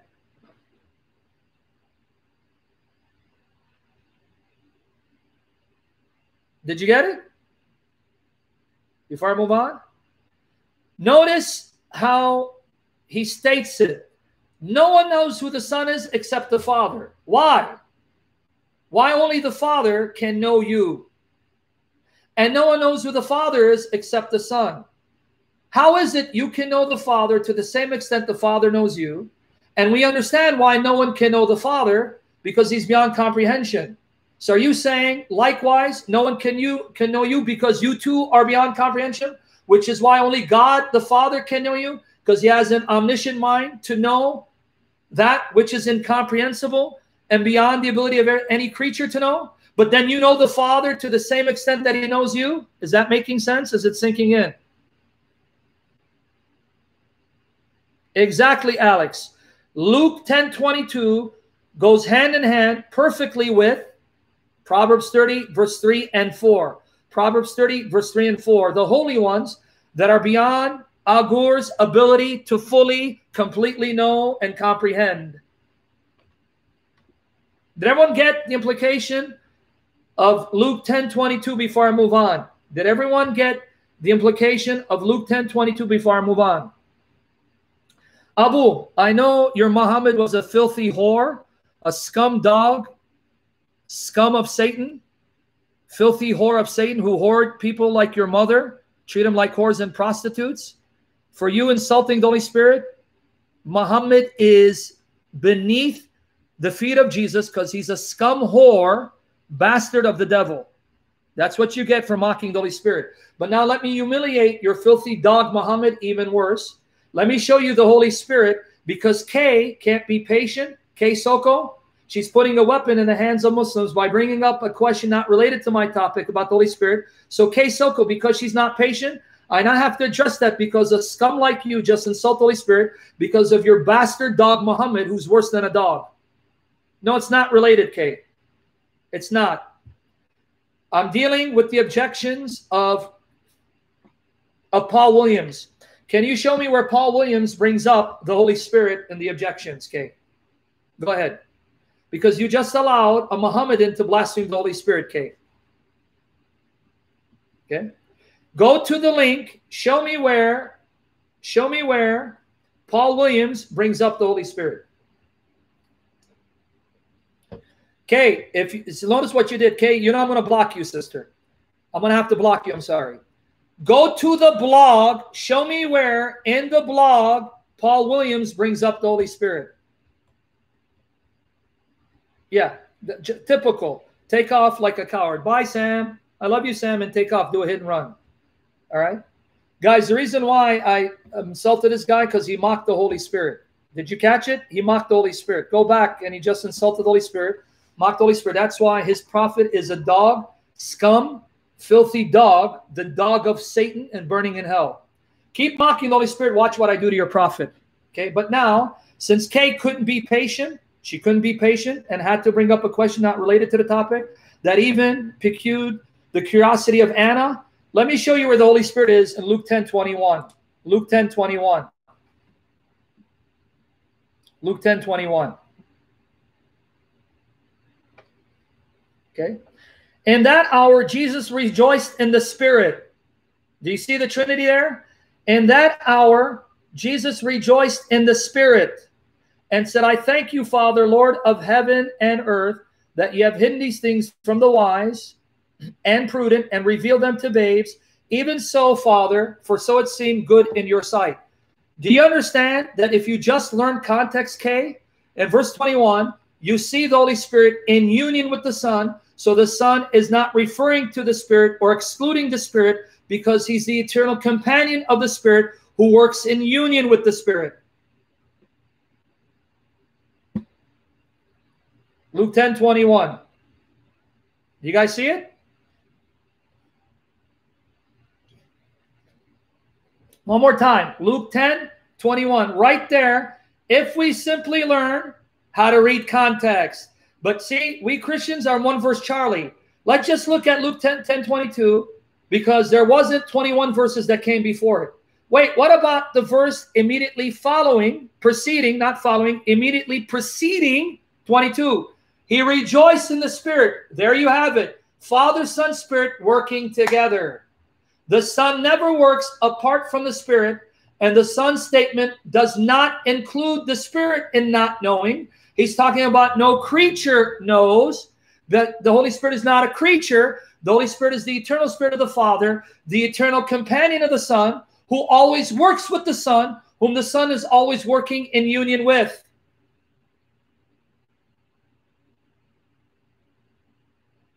Cheryl, poor Cheryl doesn't know my long history with Kay. Cheryl, I know you have a good heart. You love this sister. Kay is a sister, but her and I have a long history, especially on Discord. This is not the first class her and I have had. But she's a sister in the Lord. God bless her nonetheless. But it's the patience part. Now, Anna and everyone else, did you understand? If you just read 21, there is the Holy Spirit. There is the Holy Spirit in union with the Son and the Father. He's right there in the verse immediately preceding verse 22. Do you guys see it? Right? So why would I address the issue of the Holy Spirit when that's not the objections in the blog? I'm making it clear. Let me deal with the objections. Don't imagine objections and bring them up. So I have to now go on a tangent and deal with an issue that, though important, not related to this specific Mohammedan blog, that I'm responding to. Everyone with me? So let's refocus by the power of the Holy Spirit for the glory of Jesus Christ. Let's refocus. Do you understand Luke 10 22? The same gospel of Luke, the same gospel of Luke depicts Jesus as the omniscient, incomprehensible Son. Did we get that? depicts Jesus as the omniscient, incomprehensible Son, who alone knows the Father comprehensively to the same extent that the Father knows him. And only the Father can know the Son because, like the Father, he's beyond the ability of a creature to fully comprehend. Notice I said creature, but the Holy Spirit is not a creature. The Holy Spirit is the eternal companion and spirit of the Son and works with the Son. That's why in verse 21, you see the Son rejoicing in union with the Holy Spirit. There you have the Trinity.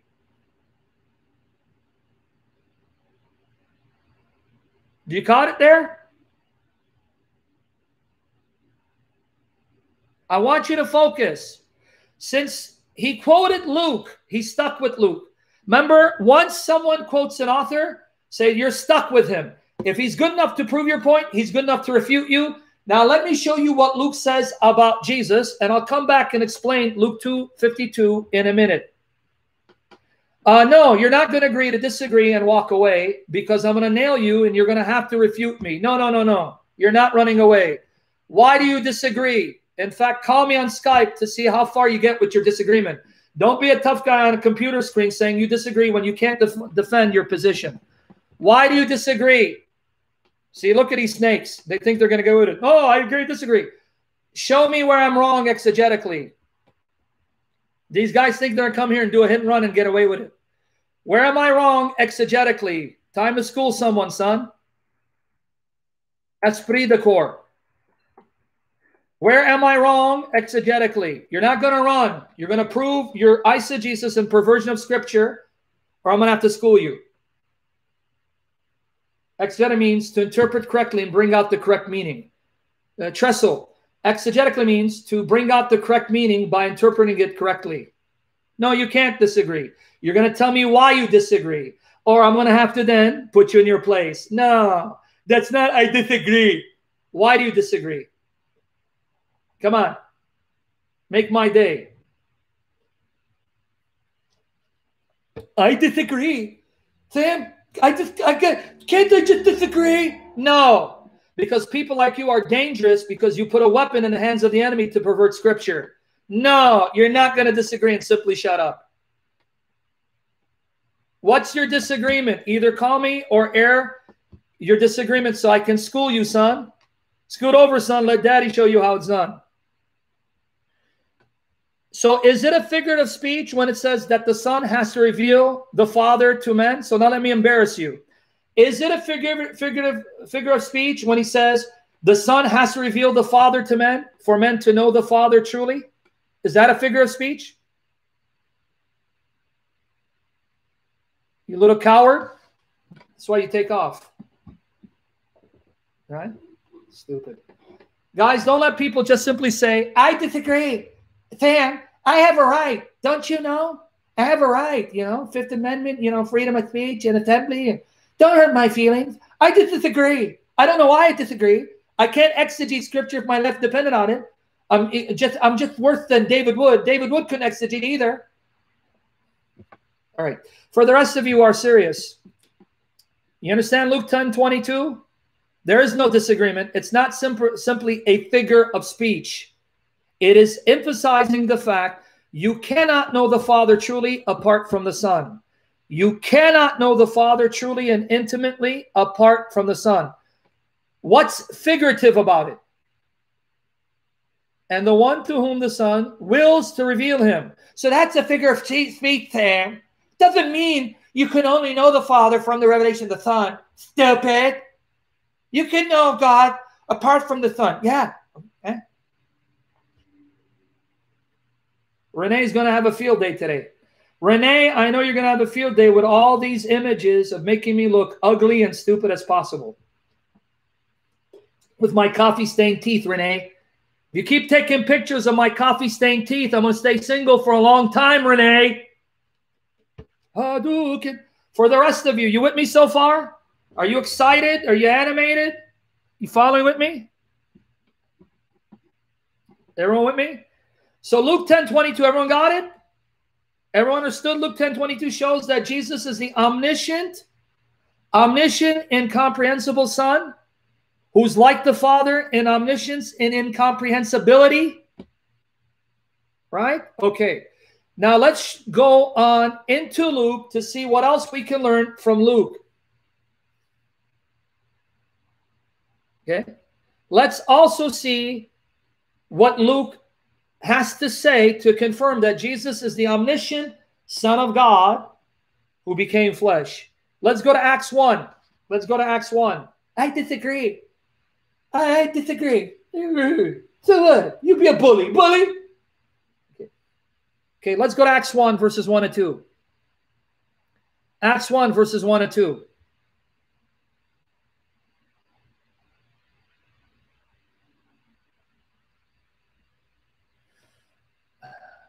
The former account I made, O Theophilus, of all that Jesus began both to do and teach, until the day in which he was taken up, after he, through the Holy Spirit, had given commandments to the apostles whom he had chosen. Now, number one, regroup and focus by the grace of God.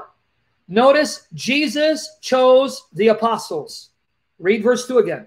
Until the day in which he was taken up, after he, through the Holy Spirit, had given commandments to the apostles whom he had chosen. Did you catch it here? Jesus chose the apostles. Let's not focus on Islam. Let's focus on Jesus. Did you guys catch it? Acts 1 2. Jesus chose the apostles. The apostles whom he had chosen, right? Everyone there?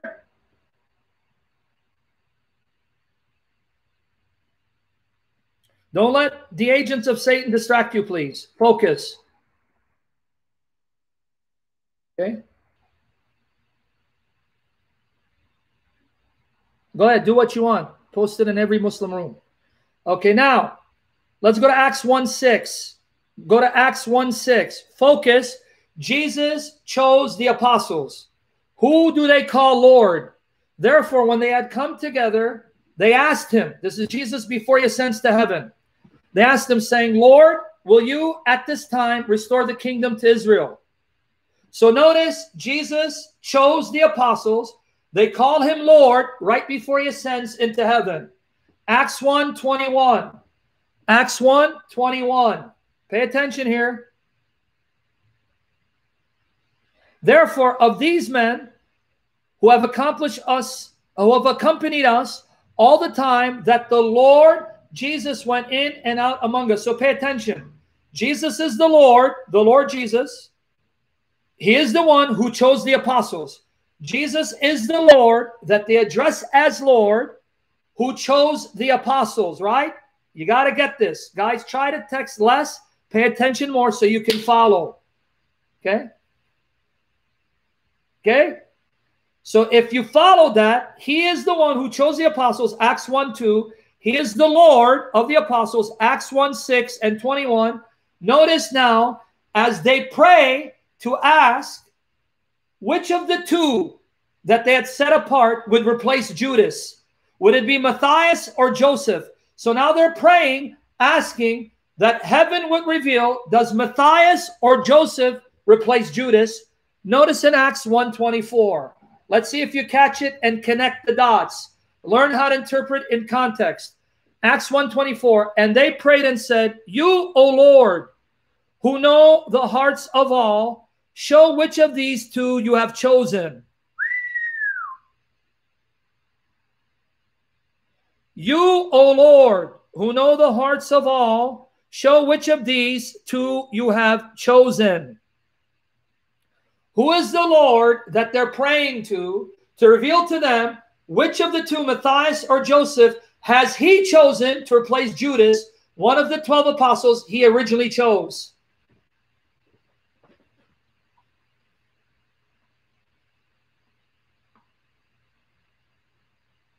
Did you catch it before I move on? Debo, we got it the first 10 times you mentioned it. Just be patient and listen. Acts 1 2 the apostles were chosen by Jesus. Acts 1 6 and 7, he is the Lord of the apostles. That's why they call him Lord, Lord Jesus. So now, as they're praying for the replacement of Judas, Lord, you chose the 12. Which of these two do you now choose to replace Judas? They're praying to Jesus in heaven, confessing him to be Lord in heaven, who knows the hearts of all. Is it sinking in before I move on? Acts 1. Now let's put it back to back in case you're not getting it. Acts 1, we're going to do it back to back. So follow the pattern. Learning to interpret in context. Acts 1, verse 2, verse 6, verse 21, verse 24. Acts 1, verse 2, verse 6, verse 21, verse 24. Read it and tell me that's not Jesus until the day in which he was taken up after he, through the Holy Spirit, had given commandments to the apostles whom he had chosen, one of whom was Judas. Therefore, when they had come together, they asked him, saying, Lord, you, Lord Jesus, before you go to heaven, will you at this time restore the kingdom to Israel? 21. Therefore, of these men who have accompanied, accompanied us all the time, that the Lord Jesus, Lord, who is Jesus, went in and out among us. 24. And they prayed and said, You, O Lord, who know the hearts of all, show which of these two you have chosen. Not only do they pray to Jesus, who's in heaven, not only do they say Jesus is Lord, they acknowledge he knows the hearts of all. Who's not getting it? So he's omniscient, he is the Lord in heaven who knows the hearts of everyone. Omniscient. But I thought he grew in wisdom and stature.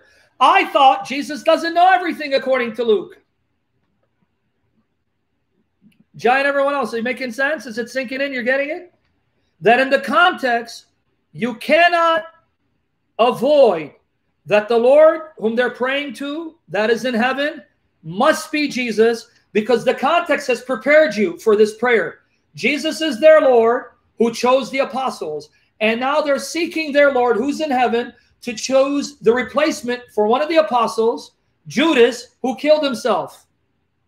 And in praying to him, they call him Lord and say he knows the hearts of all. And in case you don't see it's Jesus, let's go back to Luke 5 and read 20 to 26. Luke 5, 20 to 26. You're learning a lot of how to interpret scripture and the Christology of Luke. When he, Jesus, saw their faith, when they brought the paralyzed man, pay attention. When he saw their faith, he said to him, Man, your sins are forgiven you. And the scribes and Pharisees began to reason, saying, Who is this who speaks blasphemies? Who can forgive sins but God alone? But when Jesus perceived their thoughts, he answered and said to them, Why are you reasoning in your hearts? Oh, so Jesus on earth knew the hearts of men. How much more in heaven? Notice Jesus saying, Why are you reasoning such in your hearts? So Jesus on earth knew the hearts of men. How much more in heaven will he know the hearts of men? Which is easier to say, Your sins are forgiven you, or to say, Rise up and walk? But that you may know that the Son of Man has power on earth to forgive sins. He said to the man who was paralyzed, I say to you, arise, take up your bed, and go to your house.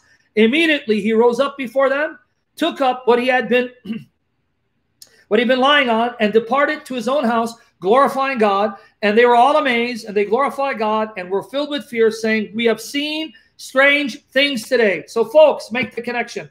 On earth, he knew the hearts of men, what they're thinking in their hearts. In heaven, he knows the hearts of men.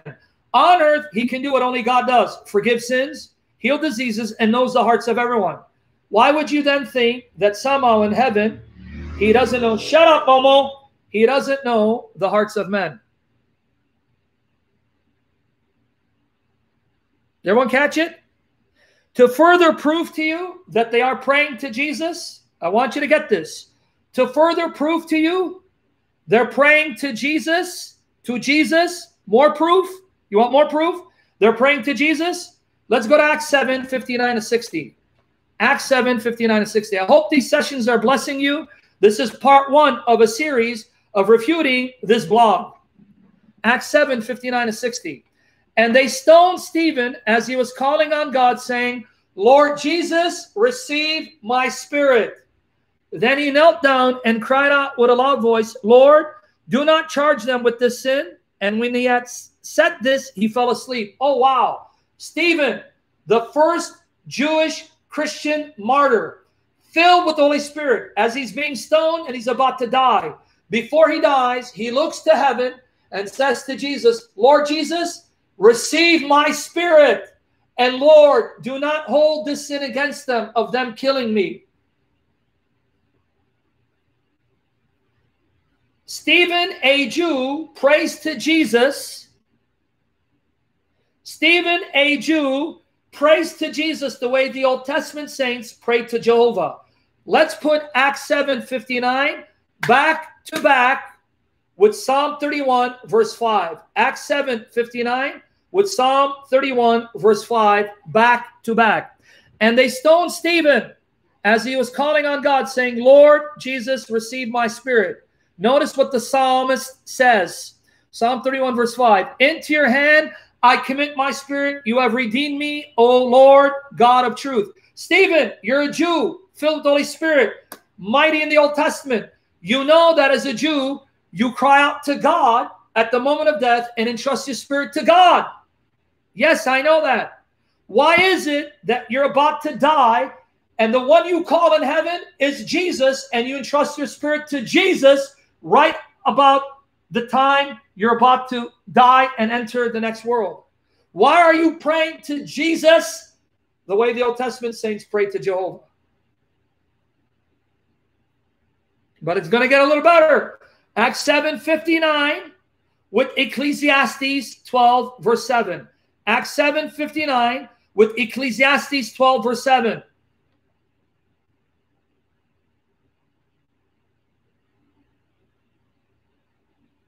Okay. And they stoned Stephen as he was calling on God, saying, Lord Jesus, receive my spirit. Then the dust will return to the earth as it was, and the spirit will return to God who gave it. So, common sense if God gave me my spirit, then when I die, my spirit will go to him who gave it to me. But if Jesus isn't God, why, Stephen, are you surrendering your spirit to Jesus when your spirit will return to the God who gave you your spirit in the first place?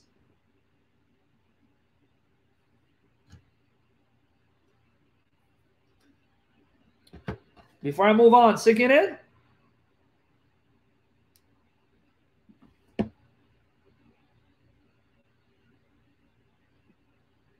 Thank you, Philip. Everything good comes from Holy Spirit. So worship and love and praise Holy Spirit for raising up sinners like me with my issues. And pray the Holy Spirit keeps me in love with Jesus. You got it, Io Israel. You got it. Wait, so what did that Mohammedan do? He quoted Luke. You mean the same Luke who testifies that Jesus is omniscient, incomprehensible? The same Luke who says that Jesus knows the hearts of everyone? The same Luke who shows Jews, Jews who knew the Old Testament, praying to Jesus while he's in heaven, worshiping Jesus while he's in heaven, praying to Jesus as their Lord, and ascribing to him the very worship and activities that the Old Testament attributes to Jehovah God in the Old Testament? Is that what you just read? Oh, but it gets more amazing. It gets more amazing, folks. You ready to get more blown away? Glory to God. We had a good crowd today. We had over 230. Praise you, Lord. May they keep coming who are sincere and attentive and not argumentative, who are know it alls, when their arrogance want to pontificate. Have mercy on them and have mercy on me, Lord Jesus, for your glory. Oh, it gets better. You want to you want to get really blown away? Stephen prays to Jesus the way Jesus prayed to the Father while Jesus was on earth. Are you ready to show you that? Jesus is worshiped and prayed to by the first Jewish Christian martyr, the same way Jesus cries out to his Father when Jesus was dying. Okay, get ready now. Luke 23, 34 and 46. Luke 23, 34 and 46 with Acts 7, 59 to 60. Thank you, Ross. God bless you. Luke 23, 34 and 46 with Acts 7, 59 to 60. You got it, Smokey. Right here. Then Jesus said, Father, forgive them, forgive them, for they do not know what they do. And they divided his garments and cast lots. And when Jesus had cried out with a loud voice, he said, Father, into your hands I commit my spirit. Having said this, he breathed his last. Compare it with Stephen. And they stoned Stephen as he was calling on God, saying, Lord Jesus, receive my spirit. Then he knelt down and cried out with a loud voice, Lord, do not charge them with this sin. And when he had said this, he fell asleep. Now I'm really baffled. I know the Father is God. So I'm not surprised that Jesus on earth says to the Father, Forgive those who are crucifying me. They don't know. And Father, into your hands I commit my spirit. Why then, after Jesus enters heaven, after his physical bodily resurrection, where he now dwells in a physical body of flesh and bone, indestructible, immortal, and deathless, and he's in heaven. Why now that he's in heaven, the followers on earth are now praying to Jesus the way Jesus prayed to the Father. If Jesus is not equal to the Father in essence and glory and power and majesty, help me understand.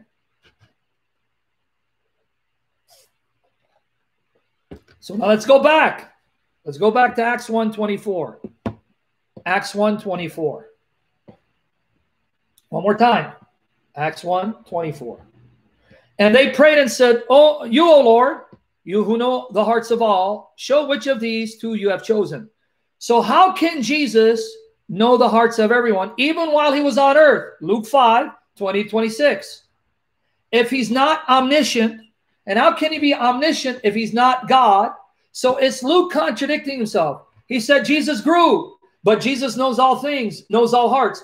No contradiction because Luke is like us. He knows Jesus is the God man. As God, he knows everything. But as a true human being, born as a human baby, like all humans, he grew. While at the same time, as God, he remained the same. Because Luke believes in the two natured Christ.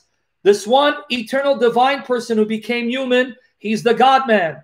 Welcome to the wonderful world of the Trinity.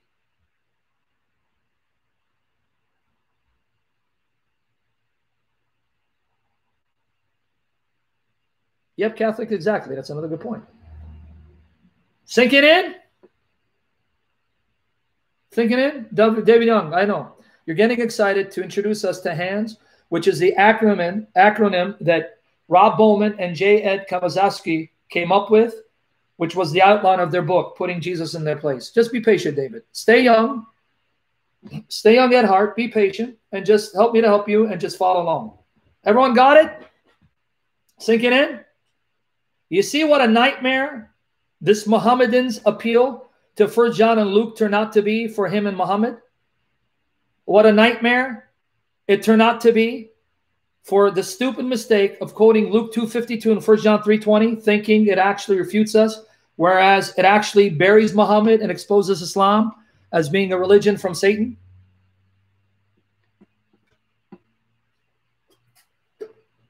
Before I move on, I wanted to sink in.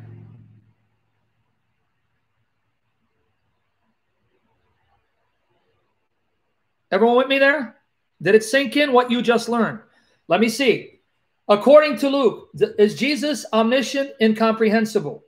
According to Luke, is Jesus the Lord in heaven, who's prayed to and worshiped the same way the Father is prayed to and worshiped? According to Luke, is Jesus the Lord in heaven, who receives the spirits of his saints when they die? Does Luke affirm all of that? Is that what we learned from Luke?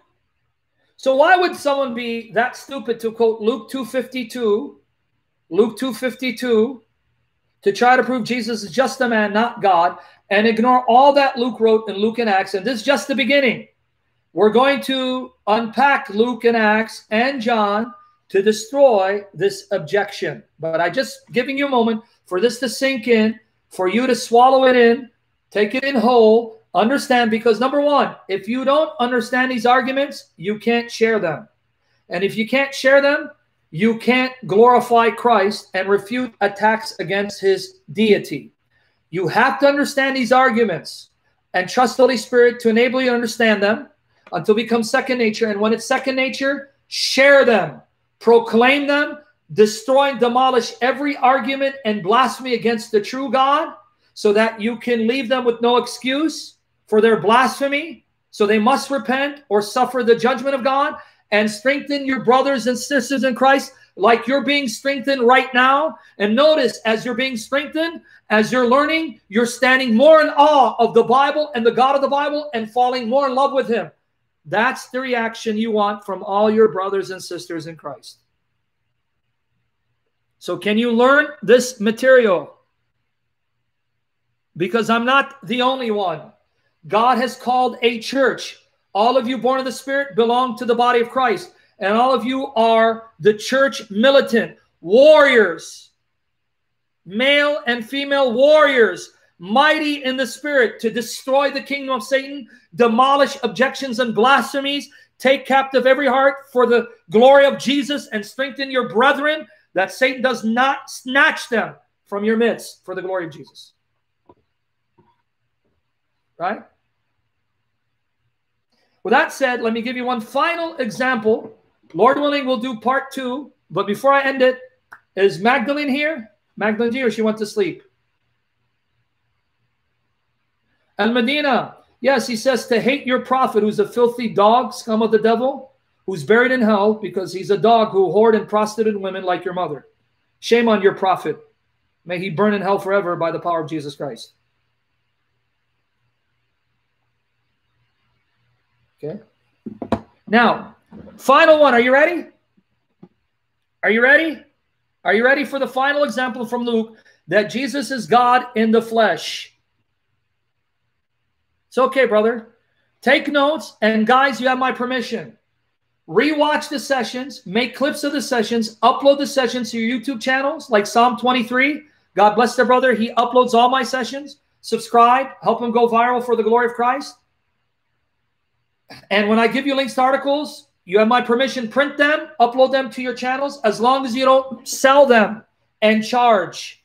Okay? Now, are you ready for the final one for tonight? God bless you, Carolina. Lord bless you all. Jesus bless every one of you. Are you ready?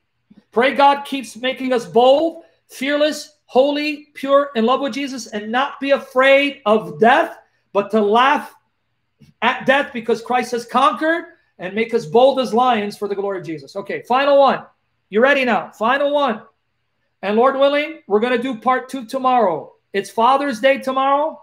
What better way to celebrate Father's Day than to gather together and praise and glorify our Heavenly Father, the Father of our Lord Jesus Christ, with the family of God? We, the children of God, the brothers and sisters of Christ, born of the same Spirit, coming together to praise our Father and thank our eldest brother Jesus for making us children to his Father by pouring out the Holy Spirit upon us.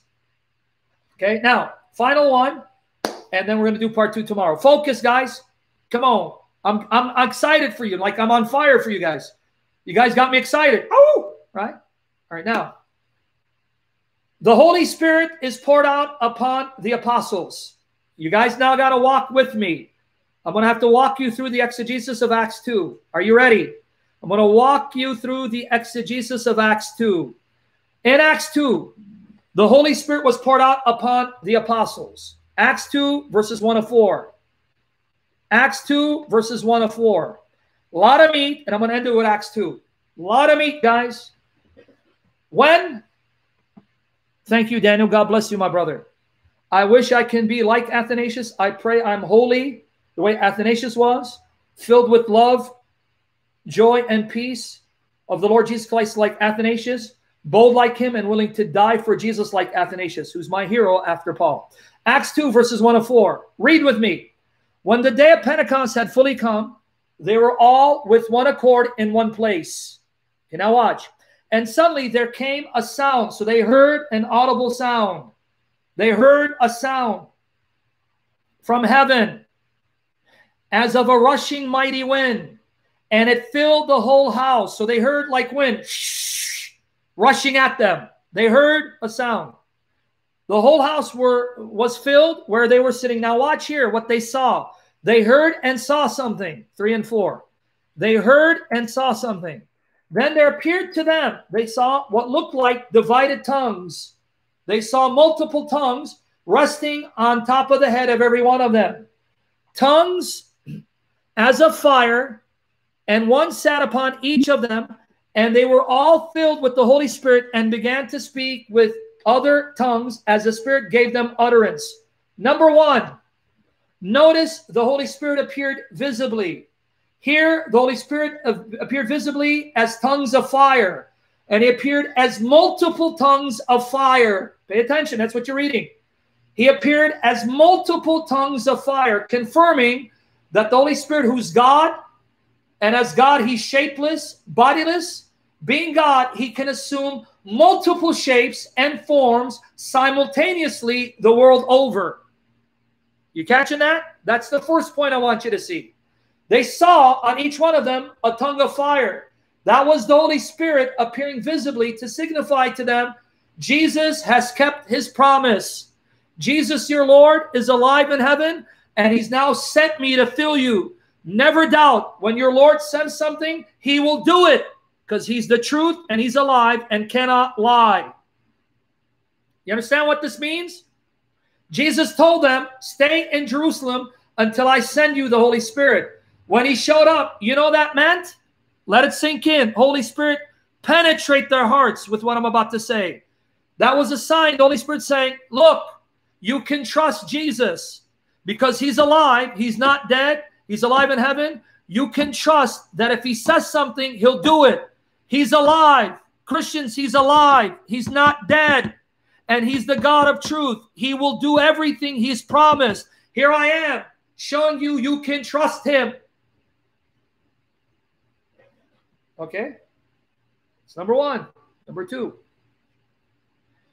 The third point I want you to get Notice when the Holy Spirit filled them, they were speaking in multiple languages and dialects. That tells you the Holy Spirit is omniscient because the Holy Spirit knows every language and can cause you to speak any and every language perfectly because he's the creator of all languages. That's the third point I want you to get. That's the third point I want you to get. Okay? And then if you read from 5 to 13, let's read 5 to 13. I'm going to take some time on this 5 to 13. Yeah. Let's take some time unpacking this. And there were dwelling in Jerusalem Jews, devout men from every nation under heaven. You guys got to pay attention now. And when this sound occurred, the multitude came together. You understand? They heard the sound of people speaking, right? So they came. What's going on? And they found the followers of Jesus. Okay. And were confused because everyone heard them speak in his own language. I'm going to unpack this. Guys, if you there's a time you need to pay attention, you got to pay attention now. I'm going to unpack this, okay? Everyone heard them in their own language. Then they were all amazed and marveled, saying to one another, Look, are not all these who speak Galileans? We know their dialect. They speak the Galilean dialect. And how is it that we hear each one in our own language in which we were born? How is it that though he's Galilean, I hear him speaking my dialect? You hear him speaking your dialect. You hear him speaking your dialect. What's going on here? We can't deny it because we're seeing and hearing it. Now watch here. Notice all the dialects they spoke. Parthians and Medes and Elamites from Persia, those dwelling in Mesopotamia, Iraq, Turkey, Judea and Cappadocia, that's Africa, Pontus and Asia, that's Turkey, Cretans and Arabs. We hear them speaking in our own tongues the wonderful works of God. So they were all amazed and perplexed, saying to one another, Whatever could this mean? Others mocking said they are full of new wine. Now I'm going to have them post 13 one more time. I'm going to have them post 13 one more time because this is crucial. This is crucial. And you Christians who believe in communion of saints, get ready. You Christians who believe in communion of saints, I'm going to give you another weapon in your arsenal to prove it's biblical. Are you ready? I'm going to kill several birds with one stone. Notice in 13 it says they mocked them because they thought they were full of new wine. They were drunk. Folks, I used to drink, unfortunately, before I was a Christian. You know how a drunk man sounds? He doesn't sound coherent. He sounds like he's slurring, right? Have you ever been around a drunk man? Before I was a Christian, I used to get drunk, unfortunately, to my shame. A drunk man doesn't sound coherent. He sounds like, you know why some of them heard them sound like they were drunk? Here's the miracle. If you read it carefully, pay attention. The miracle was that for some, the Holy Spirit allowed them to hear Peter speak in their dialect. In other words, you know what the miracle was? It isn't Peter speaking multiple dialects at the same time. It's the Holy Spirit allowing that person to understand Peter speak in his dialect Whereas the Holy Spirit allowed this person to understand Peter speaking in his dialect. But for those whom the Holy Spirit didn't give that gift, they sounded like they were speaking gibberish. Much like you hear people today who speak in tongues, you don't understand, it sounds gibberish. Definitely smoky, that's what it is. You understand what you're hearing? Two groups of people. Two groups of people. One who, by the grace of God's Spirit, Look at this guy, Razzle. Razzle. All this and what you took away is drinking is not a sin, but as long as you're drunk, did you get convicted because you like to drink some Hennessy? We're talking about the spirit, and you're talking about, hey, drinking is not a sin. Only a Chaldean could talk. Anyway, focus. Two groups of people. One group that wasn't given the grace of the Holy Spirit to understand what the apostles were saying in their dialect. So all they sounded like they were slurring like a drunk man. Another group, another group, pay attention, Another group who by the Holy Spirit heard them speaking in his or her dialect. So the miracle isn't that Peter spoke multiple dialects. The miracle is whatever Peter said, the Holy Spirit translated it in the dialect of that person whom he had grace to hear the gospel.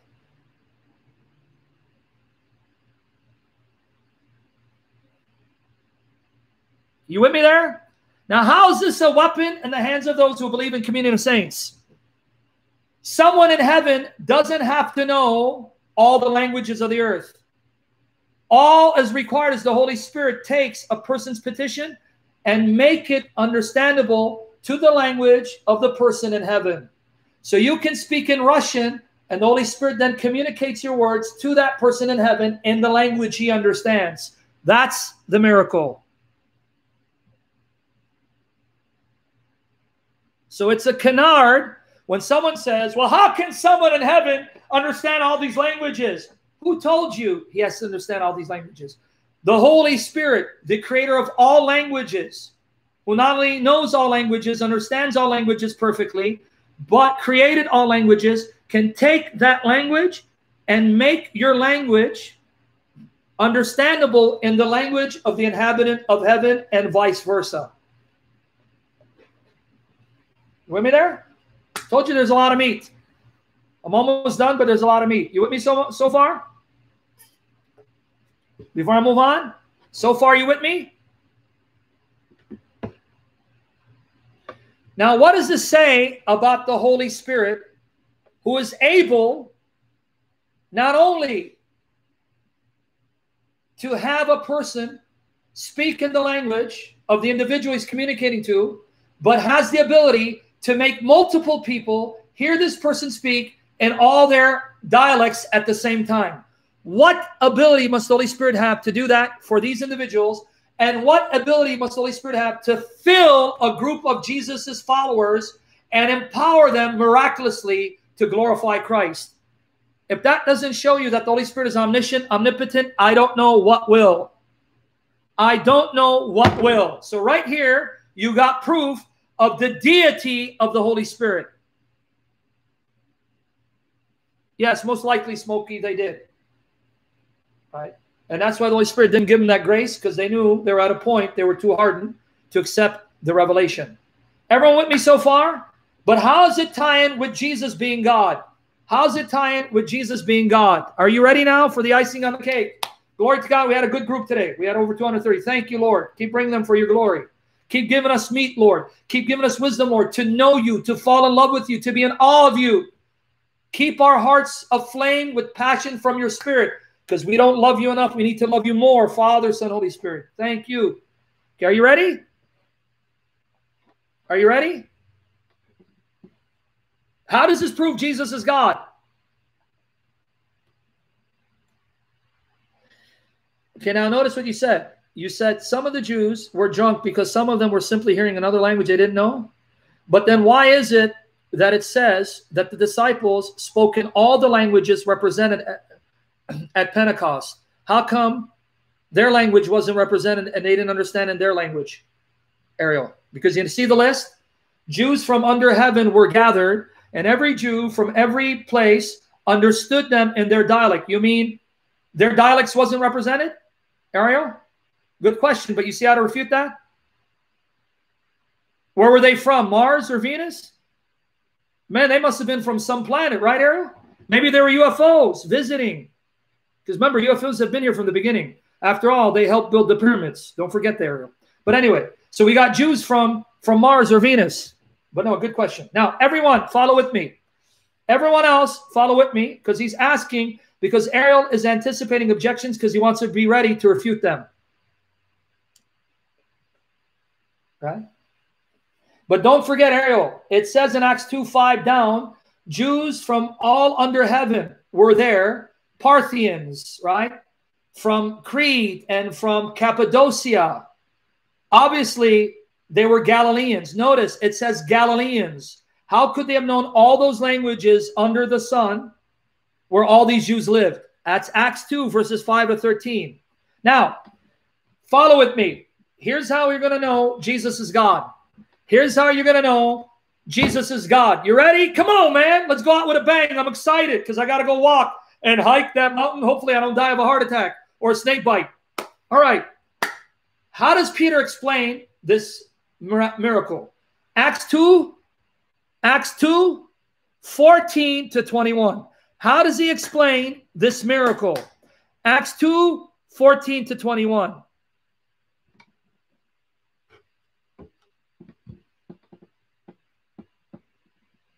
Thank you, Anna. Let me repeat what you just said, this miracle. This happened at Mount Athos with the late Saint Paisios. He spoke just Greek and he would have long discussions with German Protestants. Him in Greek and them in German, they would leave in awe and joy. Amen. Because the Holy Spirit is alive. He's alive, Anna. He's alive. He's almighty. And he's the creator of heaven and earth. And he's with the church till Jesus returns and forever. So that's why. So glory to God. These miracles happen because Jesus is real. Let's read. Acts 2 14 to 21. But Peter, standing up with the eleven, raised his voice and said to them, Men of Judea and all who dwell in Jerusalem, let this be known to you and heed my words. For these are not drunk as you suppose, since it's only the third hour of the day. It's nine in the morning, dude. They're not alcoholics. They're not like Razzle, who's an alcoholic, a slush that gets up in the morning and hits vodka and Hennessy. Right? Nine in the morning, that's his breakfast. Now watch, keep reading. Third hour of the day. But this is what was spoken by the prophet Joel. He quotes Joel the prophet. Now, please pay attention to the prophecy. If you don't pay attention to the prophecy, you're not going to connect it with Jesus. You won't see how Peter identified Jesus as God. You won't see it if you don't listen to the prophecy. Here's the prophecy of Joel. And it shall come to pass in the last days, says God, God says this. It shall come to pass in the last days, says God, that I will pour out my spirit. I, God, will pour out of my spirit. I'm doing it, not someone else in heaven. I, God in heaven, will pour out my spirit on all flesh. Your sons and your daughters shall prophesy. Your young men shall see visions. Your old men shall dream dreams. Now, pay attention now. Pay attention. 18 to 21. And on my men servants and on my maid servants, I will pour out my spirit in those days, and they shall prophesy. I will show wonders in heaven above and signs in the earth beneath, blood and fire and vapor of smoke. The, the sun shall be turned into darkness, and the moon and the moon into blood before the coming of the great and awesome day of the Lord. Now pay attention to 21. And it shall come to pass that whoever calls on the name of the Lord shall be saved. Two things I want you to notice from this. Peter says, What you're hearing and seeing is fulfilling Joel. The prophet Joel says, The day will come, God in heaven will pour out his spirit. And whoever calls on the name of the Lord shall be saved. And Peter says, He's fulfilled it. He's poured out his spirit on us. So now call on him and be saved. Now, folks, let's bring out the implication. Are you ready? You want meat, right? It's been kind of long, but you want meat, right? Number one, notice that God fulfilled the prophecy of Joel by pouring out his spirit not on the Pharisees and their disciples, not on the Sadducees and their disciples, not on John the Baptist and his disciples. He poured out his spirit only on the followers of Jesus, Jesus, whom just 50 days earlier was crucified and buried. Now, the question that the Jews had to ask is if Jesus was a fake Messiah, a blasphemer whom we killed and got rid of, why is it God is honoring his disciples, pouring out the Spirit on them and no other Jew? What's going on here? And so Peter uses the miracle to show, you know what? Because Jesus isn't a fake. And guess what? He's not dead, he's alive. God raised him back to life and he's in heaven. Acts 2 22 to 24. And I'm not going to read all of it, but Acts 2 22 to 24, verses 20 to 24. Men of Israel, hear these words Jesus of Nazareth, a man attested by God to you by miracles and wonders and signs which God did through him in your midst, as you yourselves also know. You know he did miracles. You saw those miracles. You can't deny them, though you accuse him of being a sorcerer. Him being delivered by the determined purpose and foreknowledge of God, you have taken by lawless hands, have crucified, you have crucified and put to death, whom God raised up, having loosed the pains of death, because it was not possible that he should be held by it. Now they're confronted and stumped. You know why they're confronted and stumped? Number one, they know by now the tomb of Jesus was discovered empty, his body is gone. So there's no body. Number two, they're seeing the disciples of this Jesus whom 50 days earlier they had killed, is now filled with the Holy Spirit, speaking in their language miraculously, which they're hearing and seeing and they can't deny. And now they're confronted with a miracle. Hold on, wait. They're speaking in my dialect. You're hearing them in your dialect. He's so we see the miracle. This is not natural. This can't be something human in origin. This is something miraculous, but it's the disciples of the crucified Jesus that are speaking in our dialects. And then Peter's telling us that's because God has poured out his spirit on them, the followers of Jesus. Why would God do that and honor the followers of Jesus if Jesus was a fake Messiah who's dead and buried? Could it be the case that God did raise Jesus and vindicated him and he's in heaven and he's not dead? If so, guys, we're in trouble. We killed our Messiah. We're in trouble. Now it gets better. Remember what prophecy said. Remember what the prophecy said, because we're almost done. The prophecy said, God will pour out his Holy Spirit not someone else in heaven. God in heaven will pour out the Spirit, not some creature. And number two, the prophecy said, Whoever calls on the name of the Lord shall be saved. So you need to call on the name of the Lord God to be saved, and God will pour out his Spirit. Get ready to be blown away. Are you ready now? Because now we're going to close close the session and seal the deal. Are you ready? Remember what the prophecy said. I, God, will pour out my spirit and the prophecy said, You must call on the name of Jehovah, the Lord, to be saved, not a creature. Ah, but watch what happens. Acts 2, 32 to 33. Acts 2, 32 to 33. That this Jesus God has raised up, of which we are all witnesses. Watch where he went. 33. Therefore, being exalted to the right hand of God, he was exalted to the right hand of God in heaven, having received from the Father, the Father gave him what? The Holy Spirit. He, Jesus, poured out this which you now see and hear. Wait, wait, wait, wait, wait. Peter, the prophecy of Joel says, God pours out the Holy Spirit from heaven. But you just said that when Jesus went to heaven, it wasn't the Father who poured out the Holy Spirit. It's Jesus who took the Spirit from the Father, and Jesus poured out the Spirit on his followers. So are you now saying that the God of Joel is the Father and the Son? That the Father and the Son are God?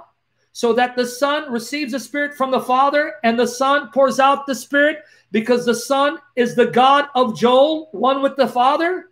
Is that what you're saying? Because Joel said, God will pour out the Spirit. You're saying Jesus poured out the Spirit, but then you're saying he poured it out from the Father. So that means the Father is God, but then Jesus pours out the Spirit, which Joel says God will do. So Jesus is the God in heaven who pours out the Spirit from the Father, who also must be God, but there's only one God.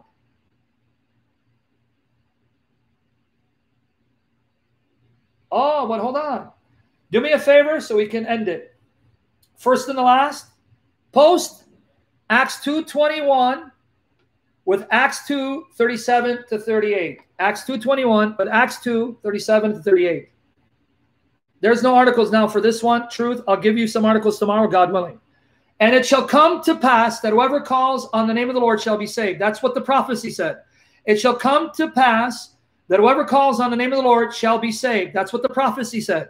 But now read Acts 2 37, 38.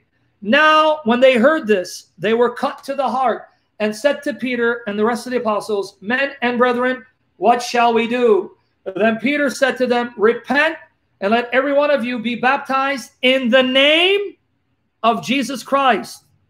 But wait, Peter, the prophecy you cited said, You must call on the name of Jehovah.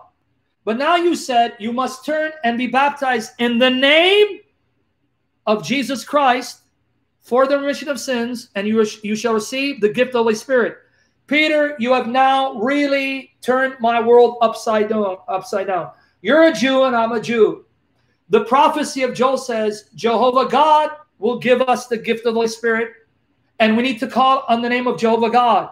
But you just said we need to turn and embrace and believe in the name of Jesus Christ so that we can be given the Holy Spirit, the Holy Spirit that Jesus poured out from heaven, from the Father. What are you trying to tell us, Peter? That the God of Israel is not just the Father, that Jesus, the man whom 50 days earlier we had killed, that too is the God of Israel who became flesh? Yes, that's what I'm telling you.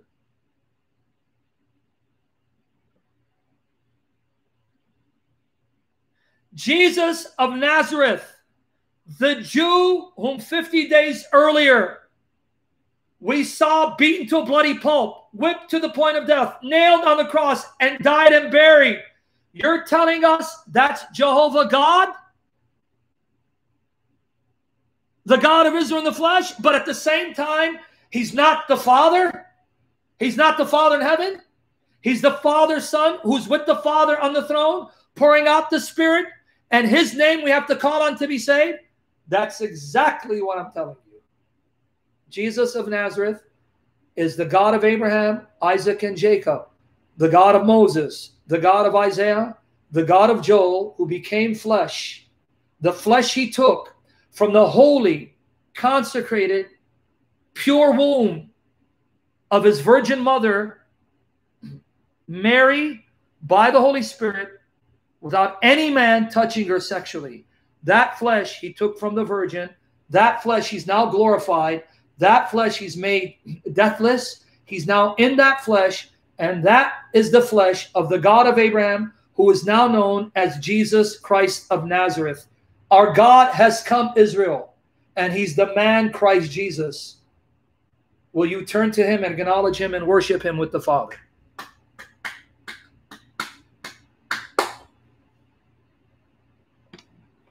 Did you catch it? Aren't you thankful for this Muslim for being so stupid, for posting an article attacking the deity of Jesus and quoting these books because now God took what Satan intended for evil. Satan, the father of Muhammad, used this man to bring great harm, but God took the evil of Satan and is now using it to bring great glory to Jesus through the servants that God has raised up, filled with the Spirit to worship and glorify and love Jesus even unto death. Aren't you thankful? Aren't you thankful?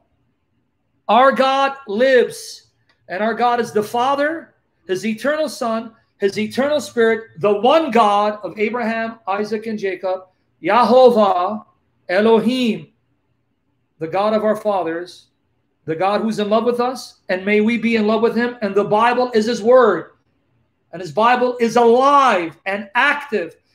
And when you read it, you hear his voice the voice of the great shepherd. And maybe may we be in love with that voice, enslaved to that voice, and cling to the voice and love him more and more. We love you, Father.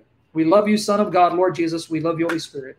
Bless us and save us from our own flesh, sinfulness, from Satan and the world. And bless our loved ones, my daughters.